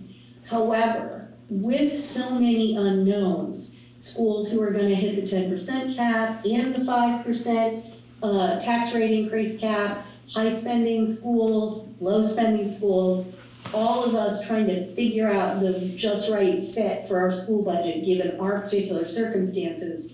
If spending is a lot higher than expected, then the yield will go down further in, uh, in the legislature. And we like, I think it will take them longer to determine what the yield will be.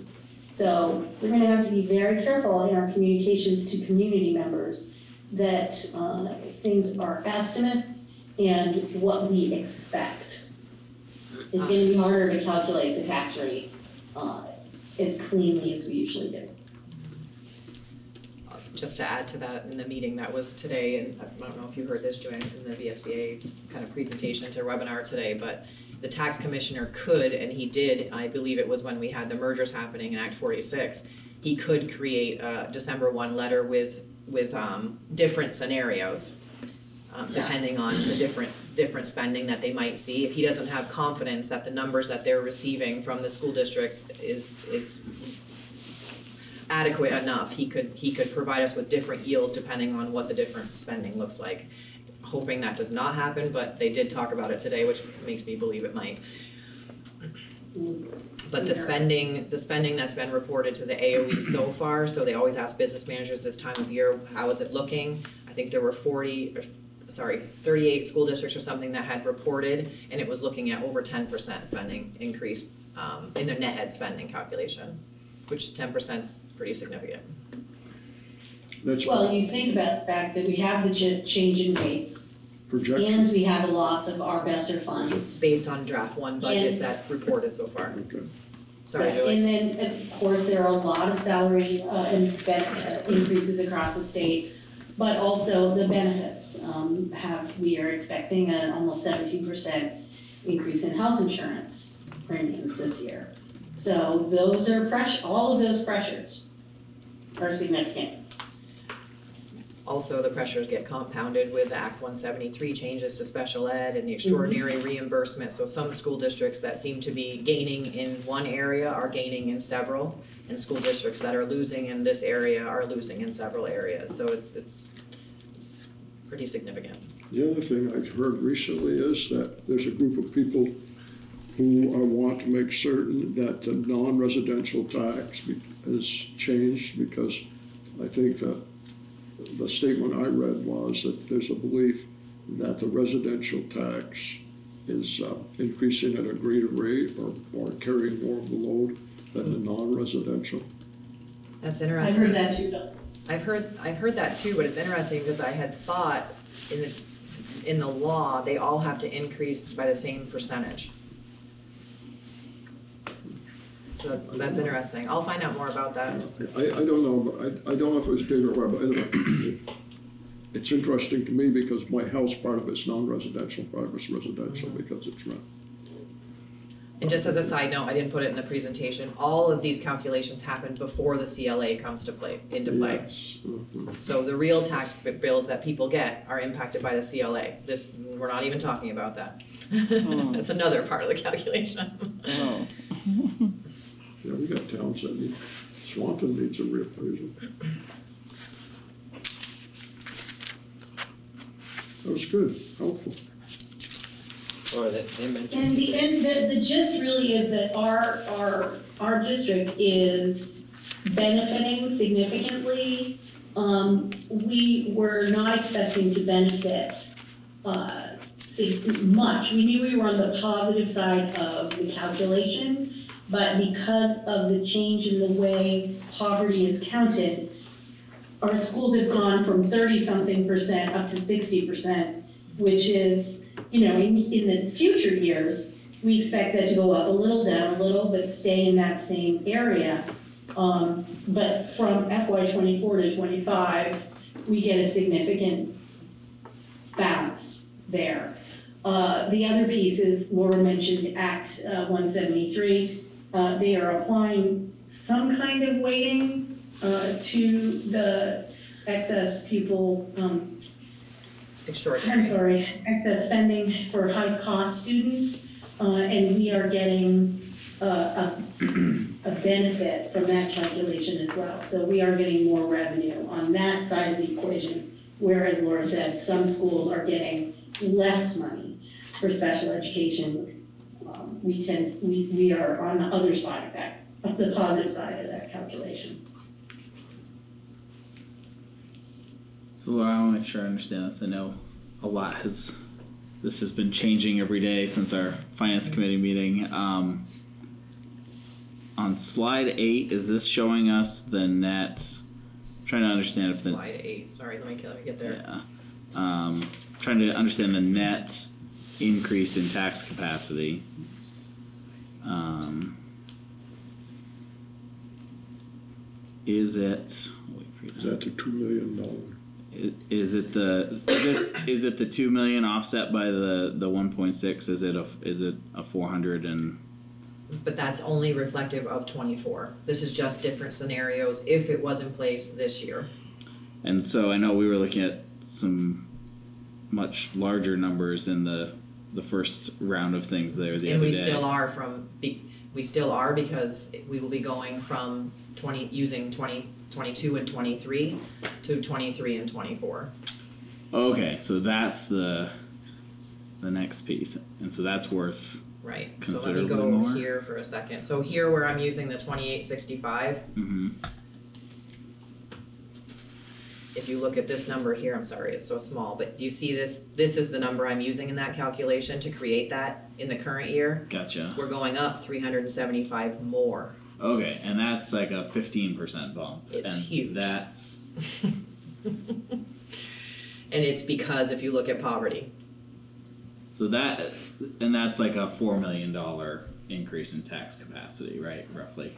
Sorry. after today's meeting, I'm not, I don't really wanna put numbers Okay. to it. I will say that the numbers, I have run, I have run. I I'm confident in my calculations and I, and the numbers we are using because Rusty Gregory is a phenomenal data manager and he's on top of all of this, which is not the case for a lot of school districts. I, these, I believe these to be very good numbers. I've run about eight different scenarios now based on what we talked about. Um, and it, it, it's, could be much larger than that. So we've been talking for a couple of years now about the funding cliff with the end of our ESSER dollars and wondering what we would do knowing that we've really put in a lot of supports that our kids have needed. And so, um, you know, I think this methodology is really the state kind of recognizing that there are schools like us that have been operating for years um, without the supports that some of our kids have needed. Um, so, um, you know, I, I see this as an opportunity to, you know, to maintain some of those services that have been put in place over the years um, or over the last couple of years uh, using our ESSER funds. But now it's really just the, the state reallocating, you know, a, a bigger piece of the pie to the to the districts that really need those supports more. So, um, you know, we don't have a draft of a budget, uh, but I think I think we need to balance. There may be a tempta- temptation to back off some of the tax rates. Um, we had a big increase last year because of the uh, inflation around housing prices. Um, so we'll be balancing that with um, the extra tax capacity. Essentially, we can get we can draw more out of the ed fund. More uh, we can draw a bigger piece of the pie for our our contribution. Um, so we should be considering uh, how much we decrease, or if we increase, or if we maintain that contribution um, to make sure we get our fair slice of that pie. So. The intent of this, when it started many years ago, was to make sure that those monies were used to improve opportunities for students and not just say, well, now we can cut our taxes. I can say every webinar, training, meeting I've listened to in the last two months, they, that they're beating that drum. They are reminding people that Sure, that's that what, was that's how it what the all intent is started. supposed to be.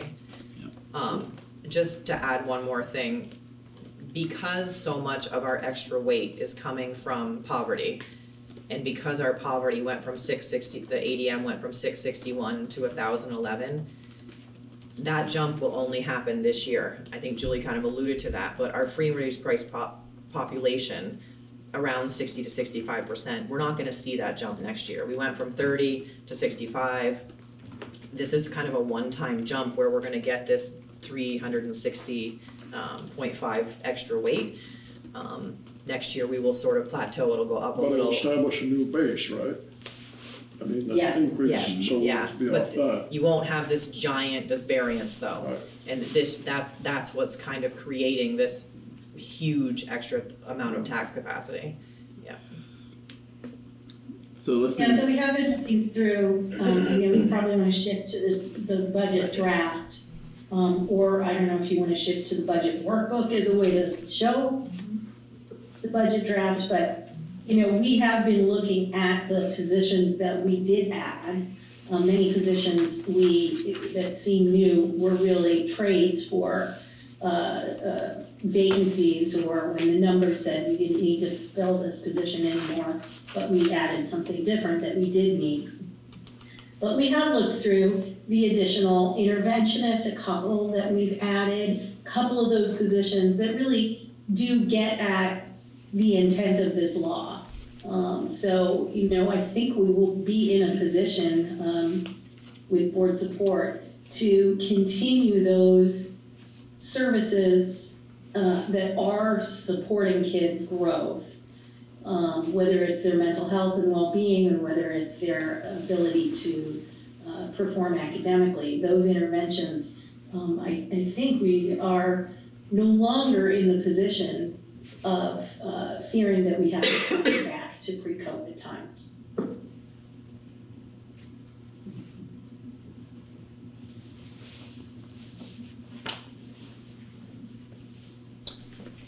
You want me to keep going? Keep going. Okay. So I passed out and it was in the Google Drive draft one of fiscal year 25's budget.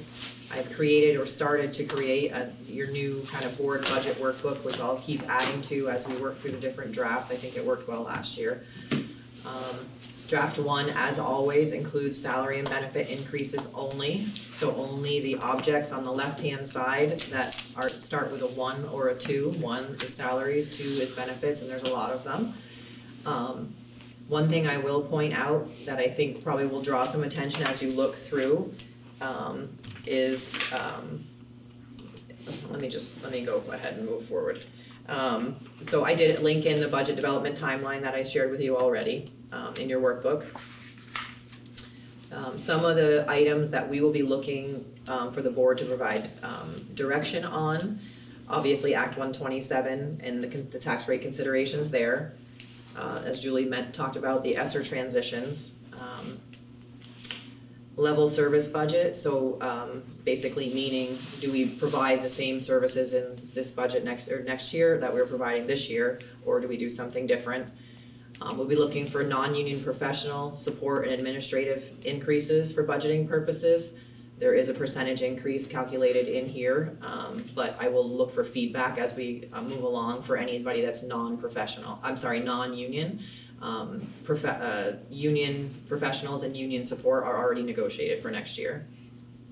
We'll be looking for input on capital investments and working with the facility task force on that. And then, um, also a discussion point should be the after-school program, um, support that is in the general fund. Um, no, these are our known ed spending factors, there's probably a lot more than this, but I tried to, um, capture some of them here. Um, same, same as last year, but just basic transparency of what makes up education costs. We know that we're providing a lot of services in school districts now that we perhaps didn't in the past. Demands on our staff, um, and time and resources are high.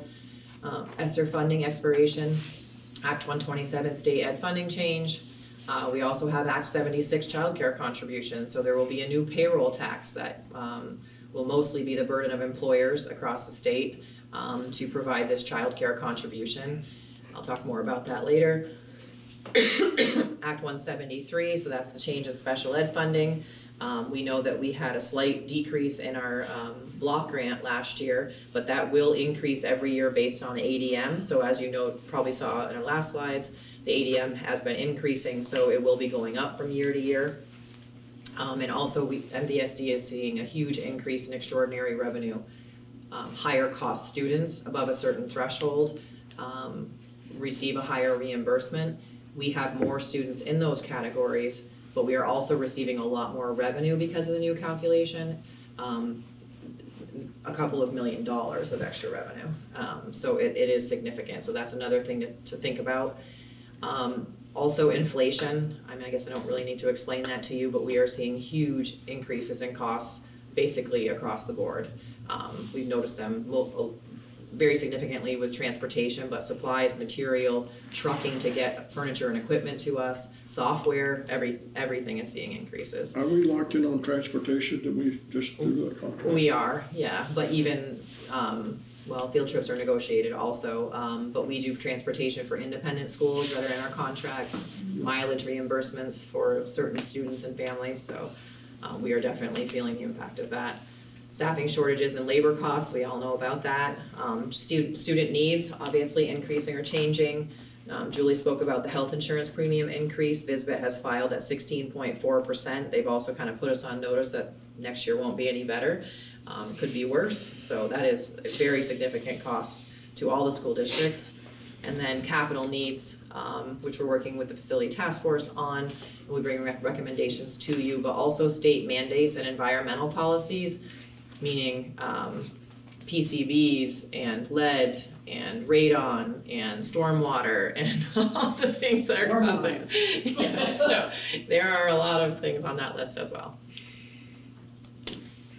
Uh, so I have a, a link here to draft one, but you have paper copies as well. Let me move this over.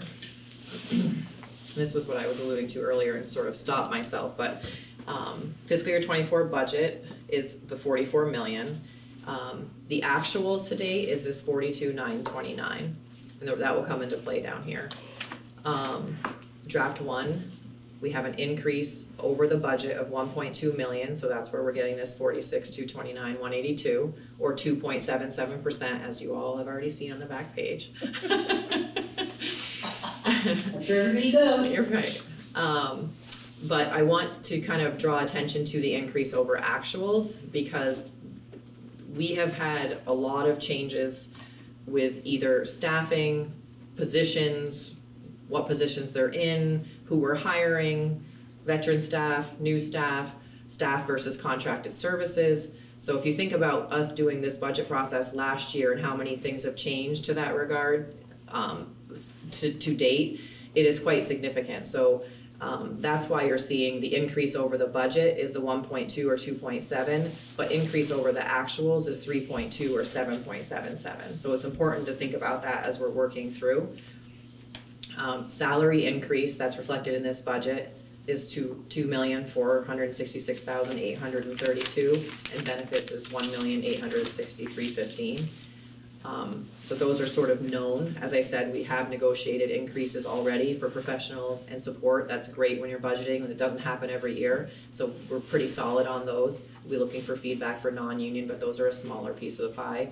Um, but also paying attention to that other, so, um, basically that million twenty-seven thousand will be reflected in your next draft because actuals are higher, so, I'm sorry, lower, so we have to find that money somewhere else.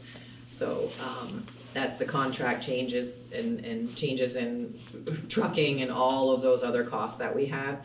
So in your next draft, I would anticipate seeing, seeing the increases, um, for that, for the other million twenty-seven dollars. So the forty-two million FY twenty-four actuals to date, mm-hmm. that's a projection based on where we are It's a now? projection based on what I know right now, and we have made a very big commitment in our office and working with facility directors and principals and office staff to try to encumber all expenses that are known. So if there's a contract out there, we now have a process to create POs for that right away. Um, if there are supplies that are needed for facilities through the year, we try to calculate what those are and we create a PO that encumbers those funds for the entire year. We do the same thing for utilities. Um, so we, we try to, to make this number as accurate as possible, but there's obviously a lot of other costs that will come up and arise as the school year happens that we just can't predict. So. I would say the biggest one is student-related services, obviously, some of those contracts can come in and they're hun- a hundred thousand dollars, or maybe there's two students that come in at the same time and it might be two hundred thousand dollars. So you have about two million dollars. But the benefit increase is obviously having quite an impact, sixteen point four percent increase to health insurance leaves a mark. Mm-hmm. Um, That's the good news. The good news is Act one twenty-seven. Yes, show us the good news first, sir. Goodness. Yeah, I know, thank goodness is, is right. Um, so union professional staff, as I said, I've outlined the increases there for you, but the base salary is going up again. Um, the different increases for teachers based on the different steps that they're on. Uh, union support staff is negotiated, um, basically everyone's getting a step increase, it can be anywhere between sixty cents and a dollar. Sixty cents would only be if they were on the grandfathered salary scale, a dollar, um, is with the new scale. Um, non-union in this budget, uh, in this draft for budget purposes only, I'm using four percent for all non-union staff, that was something we need to talk about. Um, benefit increases, as I said, sixteen point four percent for Visbit, um, or Blue Cross Blue Shield and dental, um, is gonna be between two and three. We also of- offer other benefits, long-term disability, life insurance and some of those, but the increases are either very small and actually Yeah. they've gone down. Since we negotiated, Bon- Bonnie's been able to um do some negotiating with them and actually in the current year, they went down from what we were projecting, so that's great. Um Visitors Healthcare, that's that um uh fee that we pay on every new teacher to teacher retirement, in which we know we have quite a few that come through MVSD. Once we start to pay on those teachers, we continue to pay on them until they're not with us anymore, and so every year that amount per teacher goes up and there's, we have to pay it. Um, the current year it's uh, one thousand five hundred and nine dollars, so I'm estimating that it'll go to sixteen fifty, that's about what it went up last year. Um, but, um, I didn't, I, I will add those lines up in the next draft, I didn't have a chance to do that, but it's significant. Does it ever cap? No, well, not that I'm, not that I've seen yet, or heard about. Is it At some based- point, it's a payment on every teacher, right? That's- that's Exactly. it. Yeah, think about it, Some yeah. of us are getting closer than others, no? Uh, it's not- that's the problem, you know, you're penalized if you're a school district that has more turnover in staff, and that's not really fair. And then the Act, Act seventy-six child care contribution, that's new this year, that's the payroll tax I was talking about, that's a 0.44% on every employee. It is yet to be known if the full burden is going to be on the employer, a small amount may be able to be put on the employee. Um, but what school districts are worried about is that may have to be negotiated into our master agreements, so it might have to wait until the next negotiation cycle, because master agreements trump basically everything. So, um, that has an we started impact as well. Everybody retired Um, after that a year. in this draft, I think it was a hundred, it's over a hundred thousand dollars. Fifteen, so we got that. That's how much it'll impact? Can't trust It's over a politicians hundred thousand, I either. think it was like a hundred and six or something like that. Wow. Nope, and that's just the next, getting ready for the next draft. Uh, I did mention before some of you got here, the notes, we have, I just ran out of time to be perfectly honest, but some of the notes have been updated, all of them have not. Um, we will update all the FTE numbers and things, but for the next draft, I know that's something you're usually very interested in. Um, the other thing is that, um, this represents where, where teachers are funded right now, so, um, as far as, um, I, I budgeted for staff with the same funding source as they are funded currently in this year, not necessarily where they're budgeted or where I will be putting them next year, if we keep those staff. Those changes will be reflected in the next draft, so say a teacher's funded with ESSER right now this year, next year I've added the increase, they're still reflected in ESSER, but I will be moving them in the next draft to wherever we think they might go. So every position will be in that. They're all in here right now, Right, yeah. in the bottom line, but I'll be moving them out of grant funding, either title funding or whatever, and moving them around and, and absorbing them into general fund lines, yeah. So Yeah, the, anything that was in we have had in the regular budget right along, as well as in the ESSER, you know, but it, it was recorded under the federal grant lines. We have some small contracts and, uh, those kinds of things we may be continuing or not continuing, but, um, it, they're all, they have been in the budget, uh, in previous years, unless it was a very temporary, short-term strategy. so the new numbers, Laura, you said would include all those positions. So I'm not advocating this, but if, if we wanted to reduce it, that would be looking at positions and whether we want to continue ESSER funded positions, right? As I said, I'm not advocating it, but when we look at that number, we see it, and we say, ooh, We, we sort of planned for some of it, right, so we knew this was coming, so la- the last year in the, or the current year's budget, we had we had absorbed some of those positions already to sort of kind of, But we will be looking at the total number, not uh, say, well, this, the debate won't be over whether or not we're going to keep it and fund it. Are we gonna keep it and keep the, its money, it's already in there. Right. And Julie, myself, and Bonnie met with every single, single building principal, um, last week.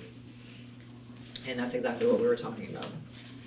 So when you talk about maybe reductions, you're also probably principals are asking for more stuff. I would imagine. Surprisingly, we didn't hear a lot of that this year. I don't know. We'll see. Yeah, they're, they're really, it, it's interesting. I mean, we have some programs that we are looking into. Um, we're looking at creating some alternative program classrooms, uh, one in Swanton and one here at MVU, uh, for middle level learners who are really struggling. And so we, we will look as we're budgeting to see whether we need to add anything for those or whether um, we have the capacity because maybe there was a classroom teacher we weren't able to fill, uh, or, you know, those kinds of things. But, um, you know, we have to look at, at the revenue side of things, uh, in this new, uh, budget era and see, you know, can we keep those things, the extra interventionist, the social worker, the, you know, truancy, at home school coordinator, those positions have been very valuable. Uh, and, and we want to, we, we're planning on keeping them anyway and using Medicaid funding for it. I, uh, honestly, I think we're gonna be in a very strong position. I had a board member once who said, is this a swap? We later, and it came up quite often from him. Want to swap, Yeah. Matt? You want to add one? What are you going to take away? It's been a mm-hmm. part of all of our Well, that's- conversations. Mm-hmm. Yeah, that's what I'm always doing. So when I met with principals, Dan looked right at me and said, I thought you were going to ask me for every single thing, what are you gonna give up? Because that's what I'm generally doing. Yeah. Well, Anyway, there's still a lot of good news there. I'm hoping with the Yeah. next draft, I'll be able to, obviously, we'll have a better idea of the bottom line, because it would look at more of the cost, but also be able to share some of the scenarios with you, with the changes in revenue and the ADM and all of that. I was gonna do it tonight, but none of the other business managers were, so I pulled it off. I decided not to. To be honest. It's like making a movie. Take one, take two, take three. So happy to take any feedback, but incorporate that into draft two. I mean, I will just add, kind of like what Devin was saying earlier, I do think there's an opportunity here with where we are, um, back when twenty-seven and the different weights to kind of create a different base that I don't think we're just gonna, I don't think we're gonna have another year like this. No. And so, Mhm. I think that, you know, given especially with the poverty going up and like the services like we need to provide, I mean, I think, I think we just have to consider like, you know, everything we can do to take advantage of this year in this scenario. So, I think more to come in some of those good finance committee debates.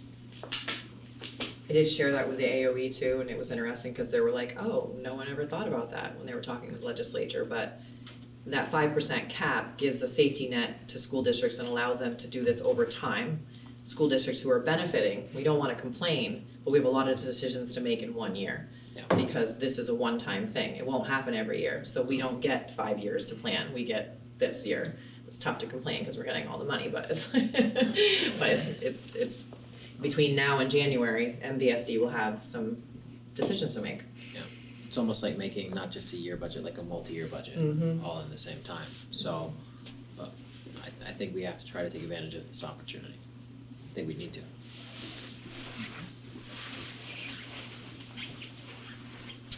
Any other I think questions it's or been great comments? to have the finance committee, um, just to be able to talk through some of these ideas and, um, it, it's, that's been a great help.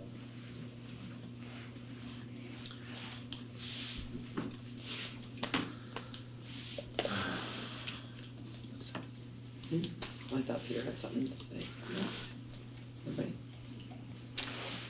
All right, thank you, Laura. Appreciate that.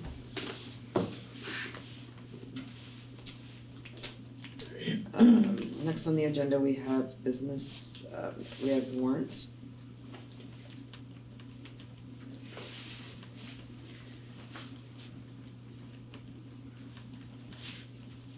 Joanne? Joanne, Rag doesn't like to read come numbers. on. I don't, math, is that what you Julie said?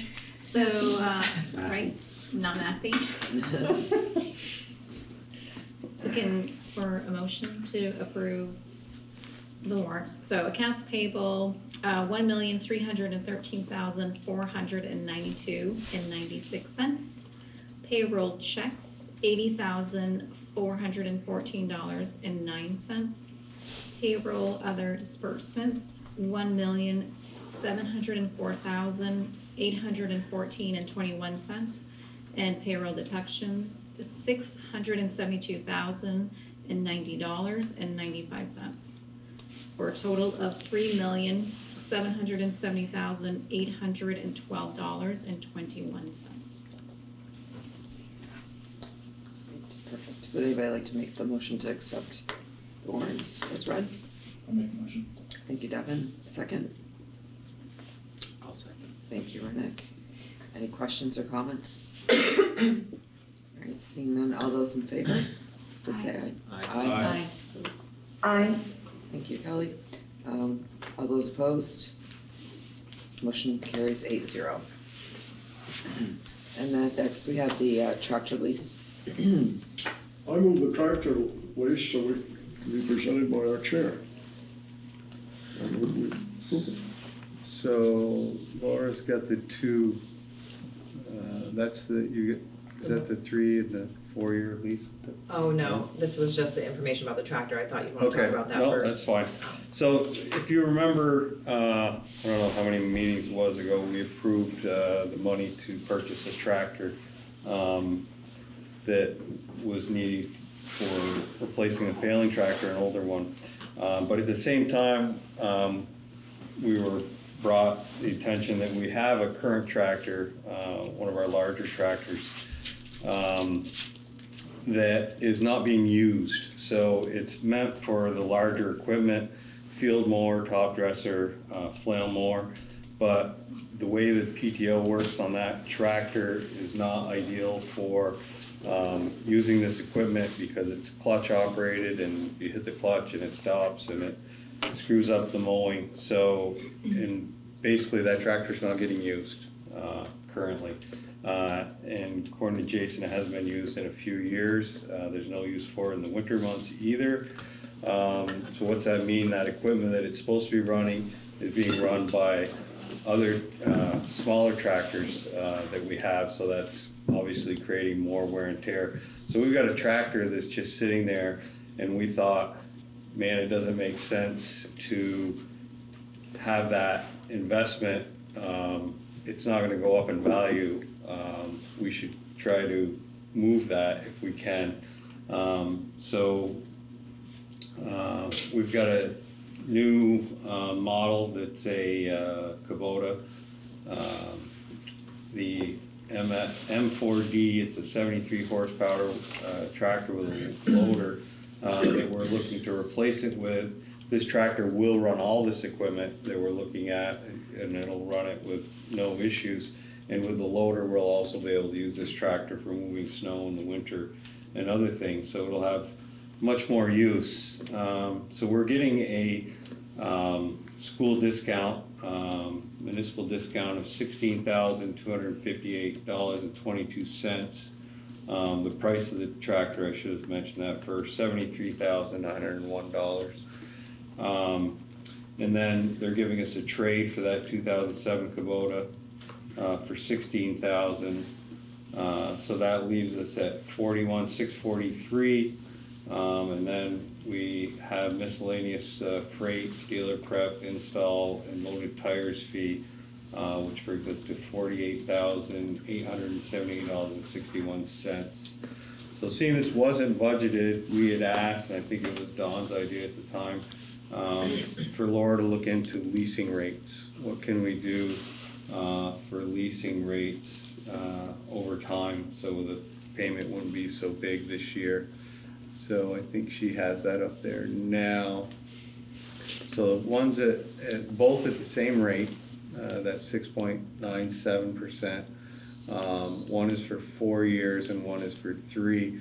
So you can see the three-year payment one is for seventeen thousand eighty-nine dollars and thirty-three cents. And if we do the four, it's thirteen thousand two hundred thirty-eight dollars and sixty-two cents. And so the cost difference between those two is only sixteen hundred and eighty-four dollars. So the, um, the committee decided that, um, maybe to go with the four, or the second option, the four-year lease, uh, so the payment wouldn't be as big, um, and the cost difference isn't, um, really that significant, so. That's what we looked at, I don't know if anybody has any questions. And my motion should have included using the four-year payment option. Yeah. And we have a, a, a line item in our, in our, uh, budget every year for tractor leasing. So We this haven't, would be easily absorbed into future years. We haven't, um, leased the last couple of years because ESSER funding has Right. allowed us to have the cash flow not to do that and rates have been sig- pretty high. Uh, so it was in the best interest of the school district, but as Julie said, there is a line item in the facilities budget for leases. And we currently are not paying on any because in the last three years we've paid the others off. Um, also just kind of a point of interest, um, in the facility task force drive, which you all, belie- I believe you all have access to. Um, there is a, a spreadsheet that, um, reflects all the equipment that we have across the school districts, the year it was purchased, what it is, and then, um, looking at a replacement cycle year proposal, uh, that I've worked with the facility directors on, so that we can start to plan for these leases. So do we anticipate a carryover that at the end of this year that's large enough to accommodate purchase of this tractor? Right now, it looks that way, yes. Yeah, we, when we started this process, it was back in September, and we felt it was really early It to was be, too early, you to, to be thinking about that. Um, I suppose that, that is an option if we're willing to, uh, to go that way. Yeah, I mean, seven percent, if we can avoid paying seven percent, I, I think we ought to. I, I, I don't disagree with this, I, I think it was a little early, even Yeah. August, September. You know, this is a good example of, of what we're trying to do with head of maintenance. Jason working with Laura, you know, brought this in, we discussed it, we looked at other options. Uh, So however we pay for it, I think your idea is great, but the idea is, let's have a process that we're buying stuff we know we need and that we can take care of it. Uh, To have a tractor sitting there that's not appropriate for our use is ridiculous. Well, that's, that's what Laura had up there with the equipment and then the schedule for replacement. That's what we've needed, because the problem is like, this year we really needed two, is because we haven't in the past been doing that. So we've got aged equipment building up. So how's the, I mean, the work that this tractor was purchased to do, you said that's being done by other Right. equipment? The equipment we have doesn't quite match this tractor. So I either think the that's tractor's too that's big, the the equipment's too line. small, the equipment's too big, the tractor's, like, it just doesn't. So what do we gain by replacing this tractor versus just selling it and continuing to do what we're doing now? So the, the, what Jason was telling me would be, they're using tractors that are really not the correct size for the equipment they're using, so it's creating a lot more wear and tear, so we're figuring that those, uh, tractors will, uh, not last as long. So And everything's taken equipment, because equipment, because it's not the appropriate equipment, they have to stop and they have to meet it. Right. Particularly the winter. For instance, there's an attachment that goes on this that every time they turn, they can't turn the way they're supposed to. And so it cause, it takes way longer to do the fields than it should take. That's just one example. And as Don said, it's creating a lot of wear and tear on equipment that it shouldn't be, It shouldn't have that wear and tear. And we pay the staff on the tractor hourly. So, there's that. Do they just go home when they're done, or are they just on to other things? It's just efficiency that way. probably go on to other things, but there's a lot of other things. And that, that's the other thing too, uh, Devin, is, is we're really looking to improve the athletics field, like we said, so there is other equipment, we need to get a, a spreader for fertilizer that this tractor will also work on, so there's, there's, we need bigger equipment to, to take care of these fields. Right now, we do contract for a lot of that work too, like cleaning ditches and, you know, things like that. that we could do ourselves and that Jason has expressed that he and his team would do rather than contracting for it. I think the administration with Laura and Dan are making certain that athletic department who has a role in the fields and the maintenance department, which has a role in the fields, are working together. I think heretofore, particularly when the Missisquoi Valley Union High School separate entity, you found people maybe making decisions that weren't joint decisions. So we said, well, this is what you need, and I can bid it. When they got to, when it went to the guys that were gonna use it, it's like, this, this doesn't work. I'm, I'm guessing, but some of the discussions tell me that there were purchases made by people that, uh, didn't take the time to thoroughly research, how are we gonna use it long-term? What type of attachments do we use in equipment? And this purchase will let us get beyond that, I believe, and will be it. And that's a two thousand seven tractor, right? So it's, it's not new. And the, and uh, the sixteen thousand they're, they're giving us towards the other tractor, I'm not sure they'd give it, give us that if we just said, would you buy it from us? We, we aren't, we're not even sure that we can find one right now, so we had one. Yeah, they're- There was one at the they're looking. dealership that, when we first started talking about this, that sold the same day that we said we, they, we were, needed to wait. Um, They believe they can find another one, but there isn't one like in the area. We can always go back and say, the will of the board is we wanna pay for it. Oh, yeah, what, what, what do you guys think about I purchase mean, I, versus lease? I agree with you, I'd rather not pay the interest if we don't have to, I just don't wanna put us in a bad situation either. I think it's worth a try personally. That if the vote was that, uh, we offered to buy it out, and if we can't, then the backup position is we will accept which one of those offers. Because we're, I'll bring a financial report to the next board meeting, but because, or two board meetings from now, but because we're experiencing that increase of um, extraordinary reimbursement that I was talking about from one seventy-three, this is the first year we're receiving all of that. I didn't know how to calculate it, so I, I was very conservative. We're receiving a lot more money than what we originally thought, and the costs have not gone up. They've gone up some, but not, not to that scale. So that has provided us with quite a, a revenue, you know, or or surplus overall. Okay. So, I mean, I guess for what it's worth, I'd be supportive of purchasing. and I'd be supportive of a lease. Yeah, I, I mean, to me, the important thing Are you is, making that motion, Devin? Well, was there a motion on the table already? I think there, I think so. think there is, I'll so. withdraw my motion. Well, no, my motion was to purchase, but I, I didn't have the option in, but let's make a new motion, go ahead. Well, I don't even want the option, I just won't buy it. Go ahead and make that motion. Uh, what's the dollar amount here? That's So, it's, uh, here, let me.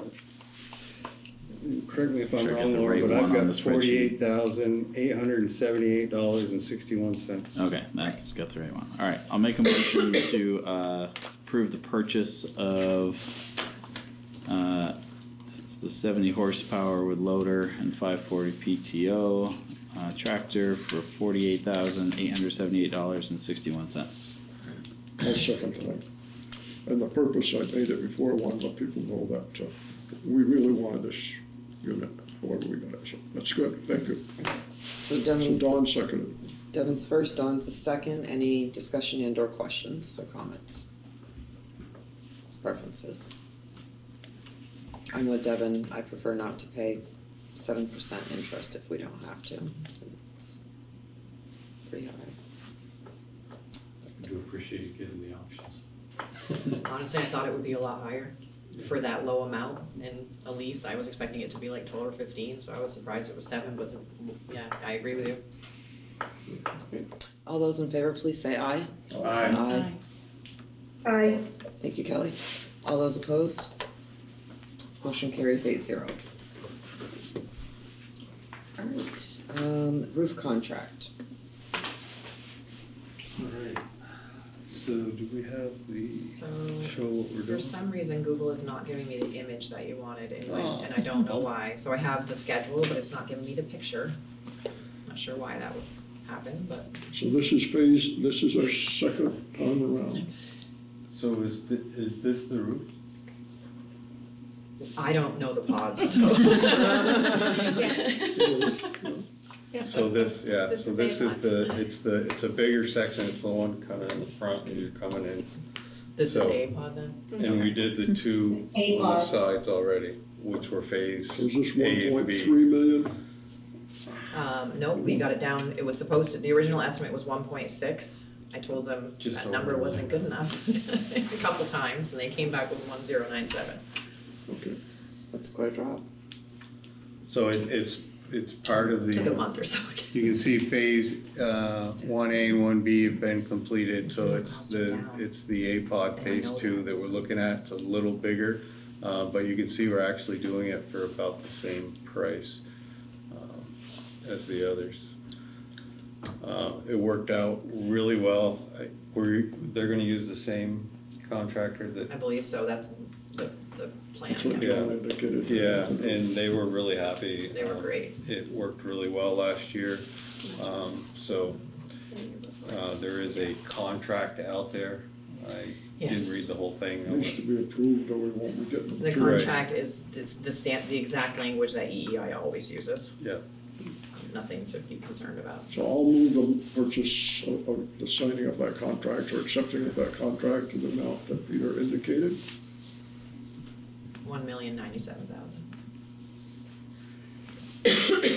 I'll second that. All right. Don's the first, Peter's the second. Any questions or comments?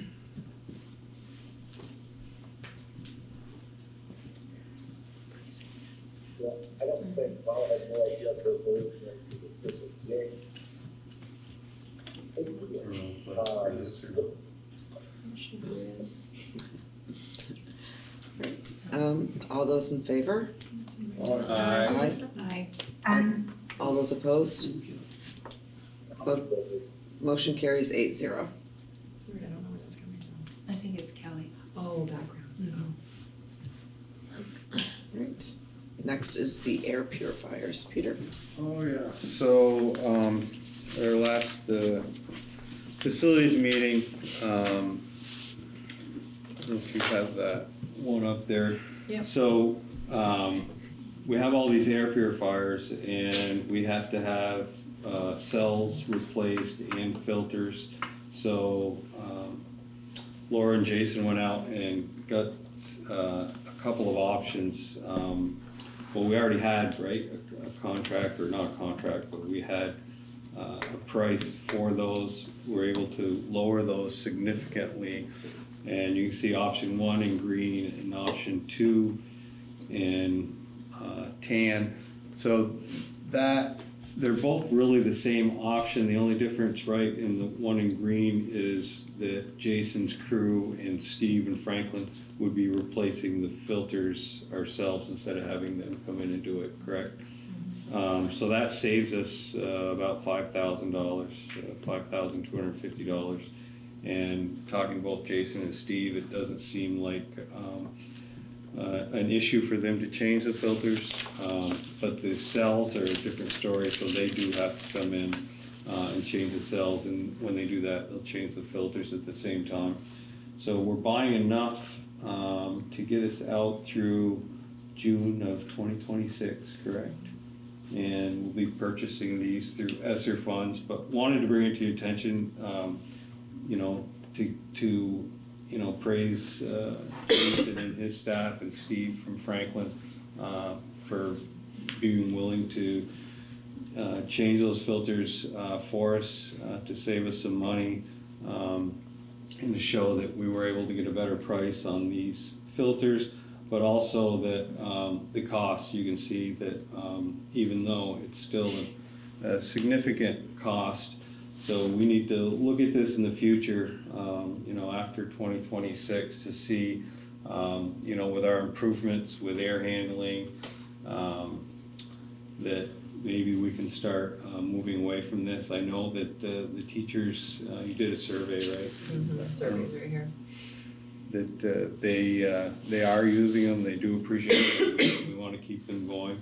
Uh, But uh, we're, we're, we are putting in, like in Highgate and other schools, uh, new HVAC systems, so we're hoping that um, eventually we can uh, start removing some of these, so. just wanted to give that update. Thank you, Peter.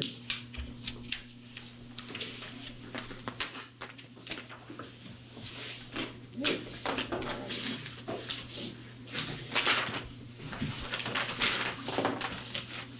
So future agenda items will be communications update and planning, uh, committee updates, tour of the Franklin project. Super excited. Um, budget,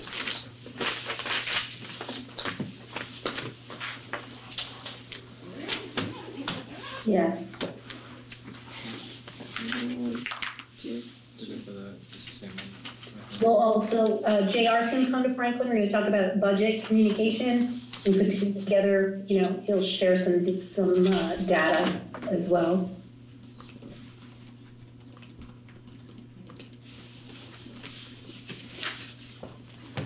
Yeah, the addition, they did speak of that in their last meeting, and it is coming along good. I, I walked down there over the weekend. Um, the windows are, I don't know if they're in, they were supposed to be in today, not in the building, but in as far as, um, available.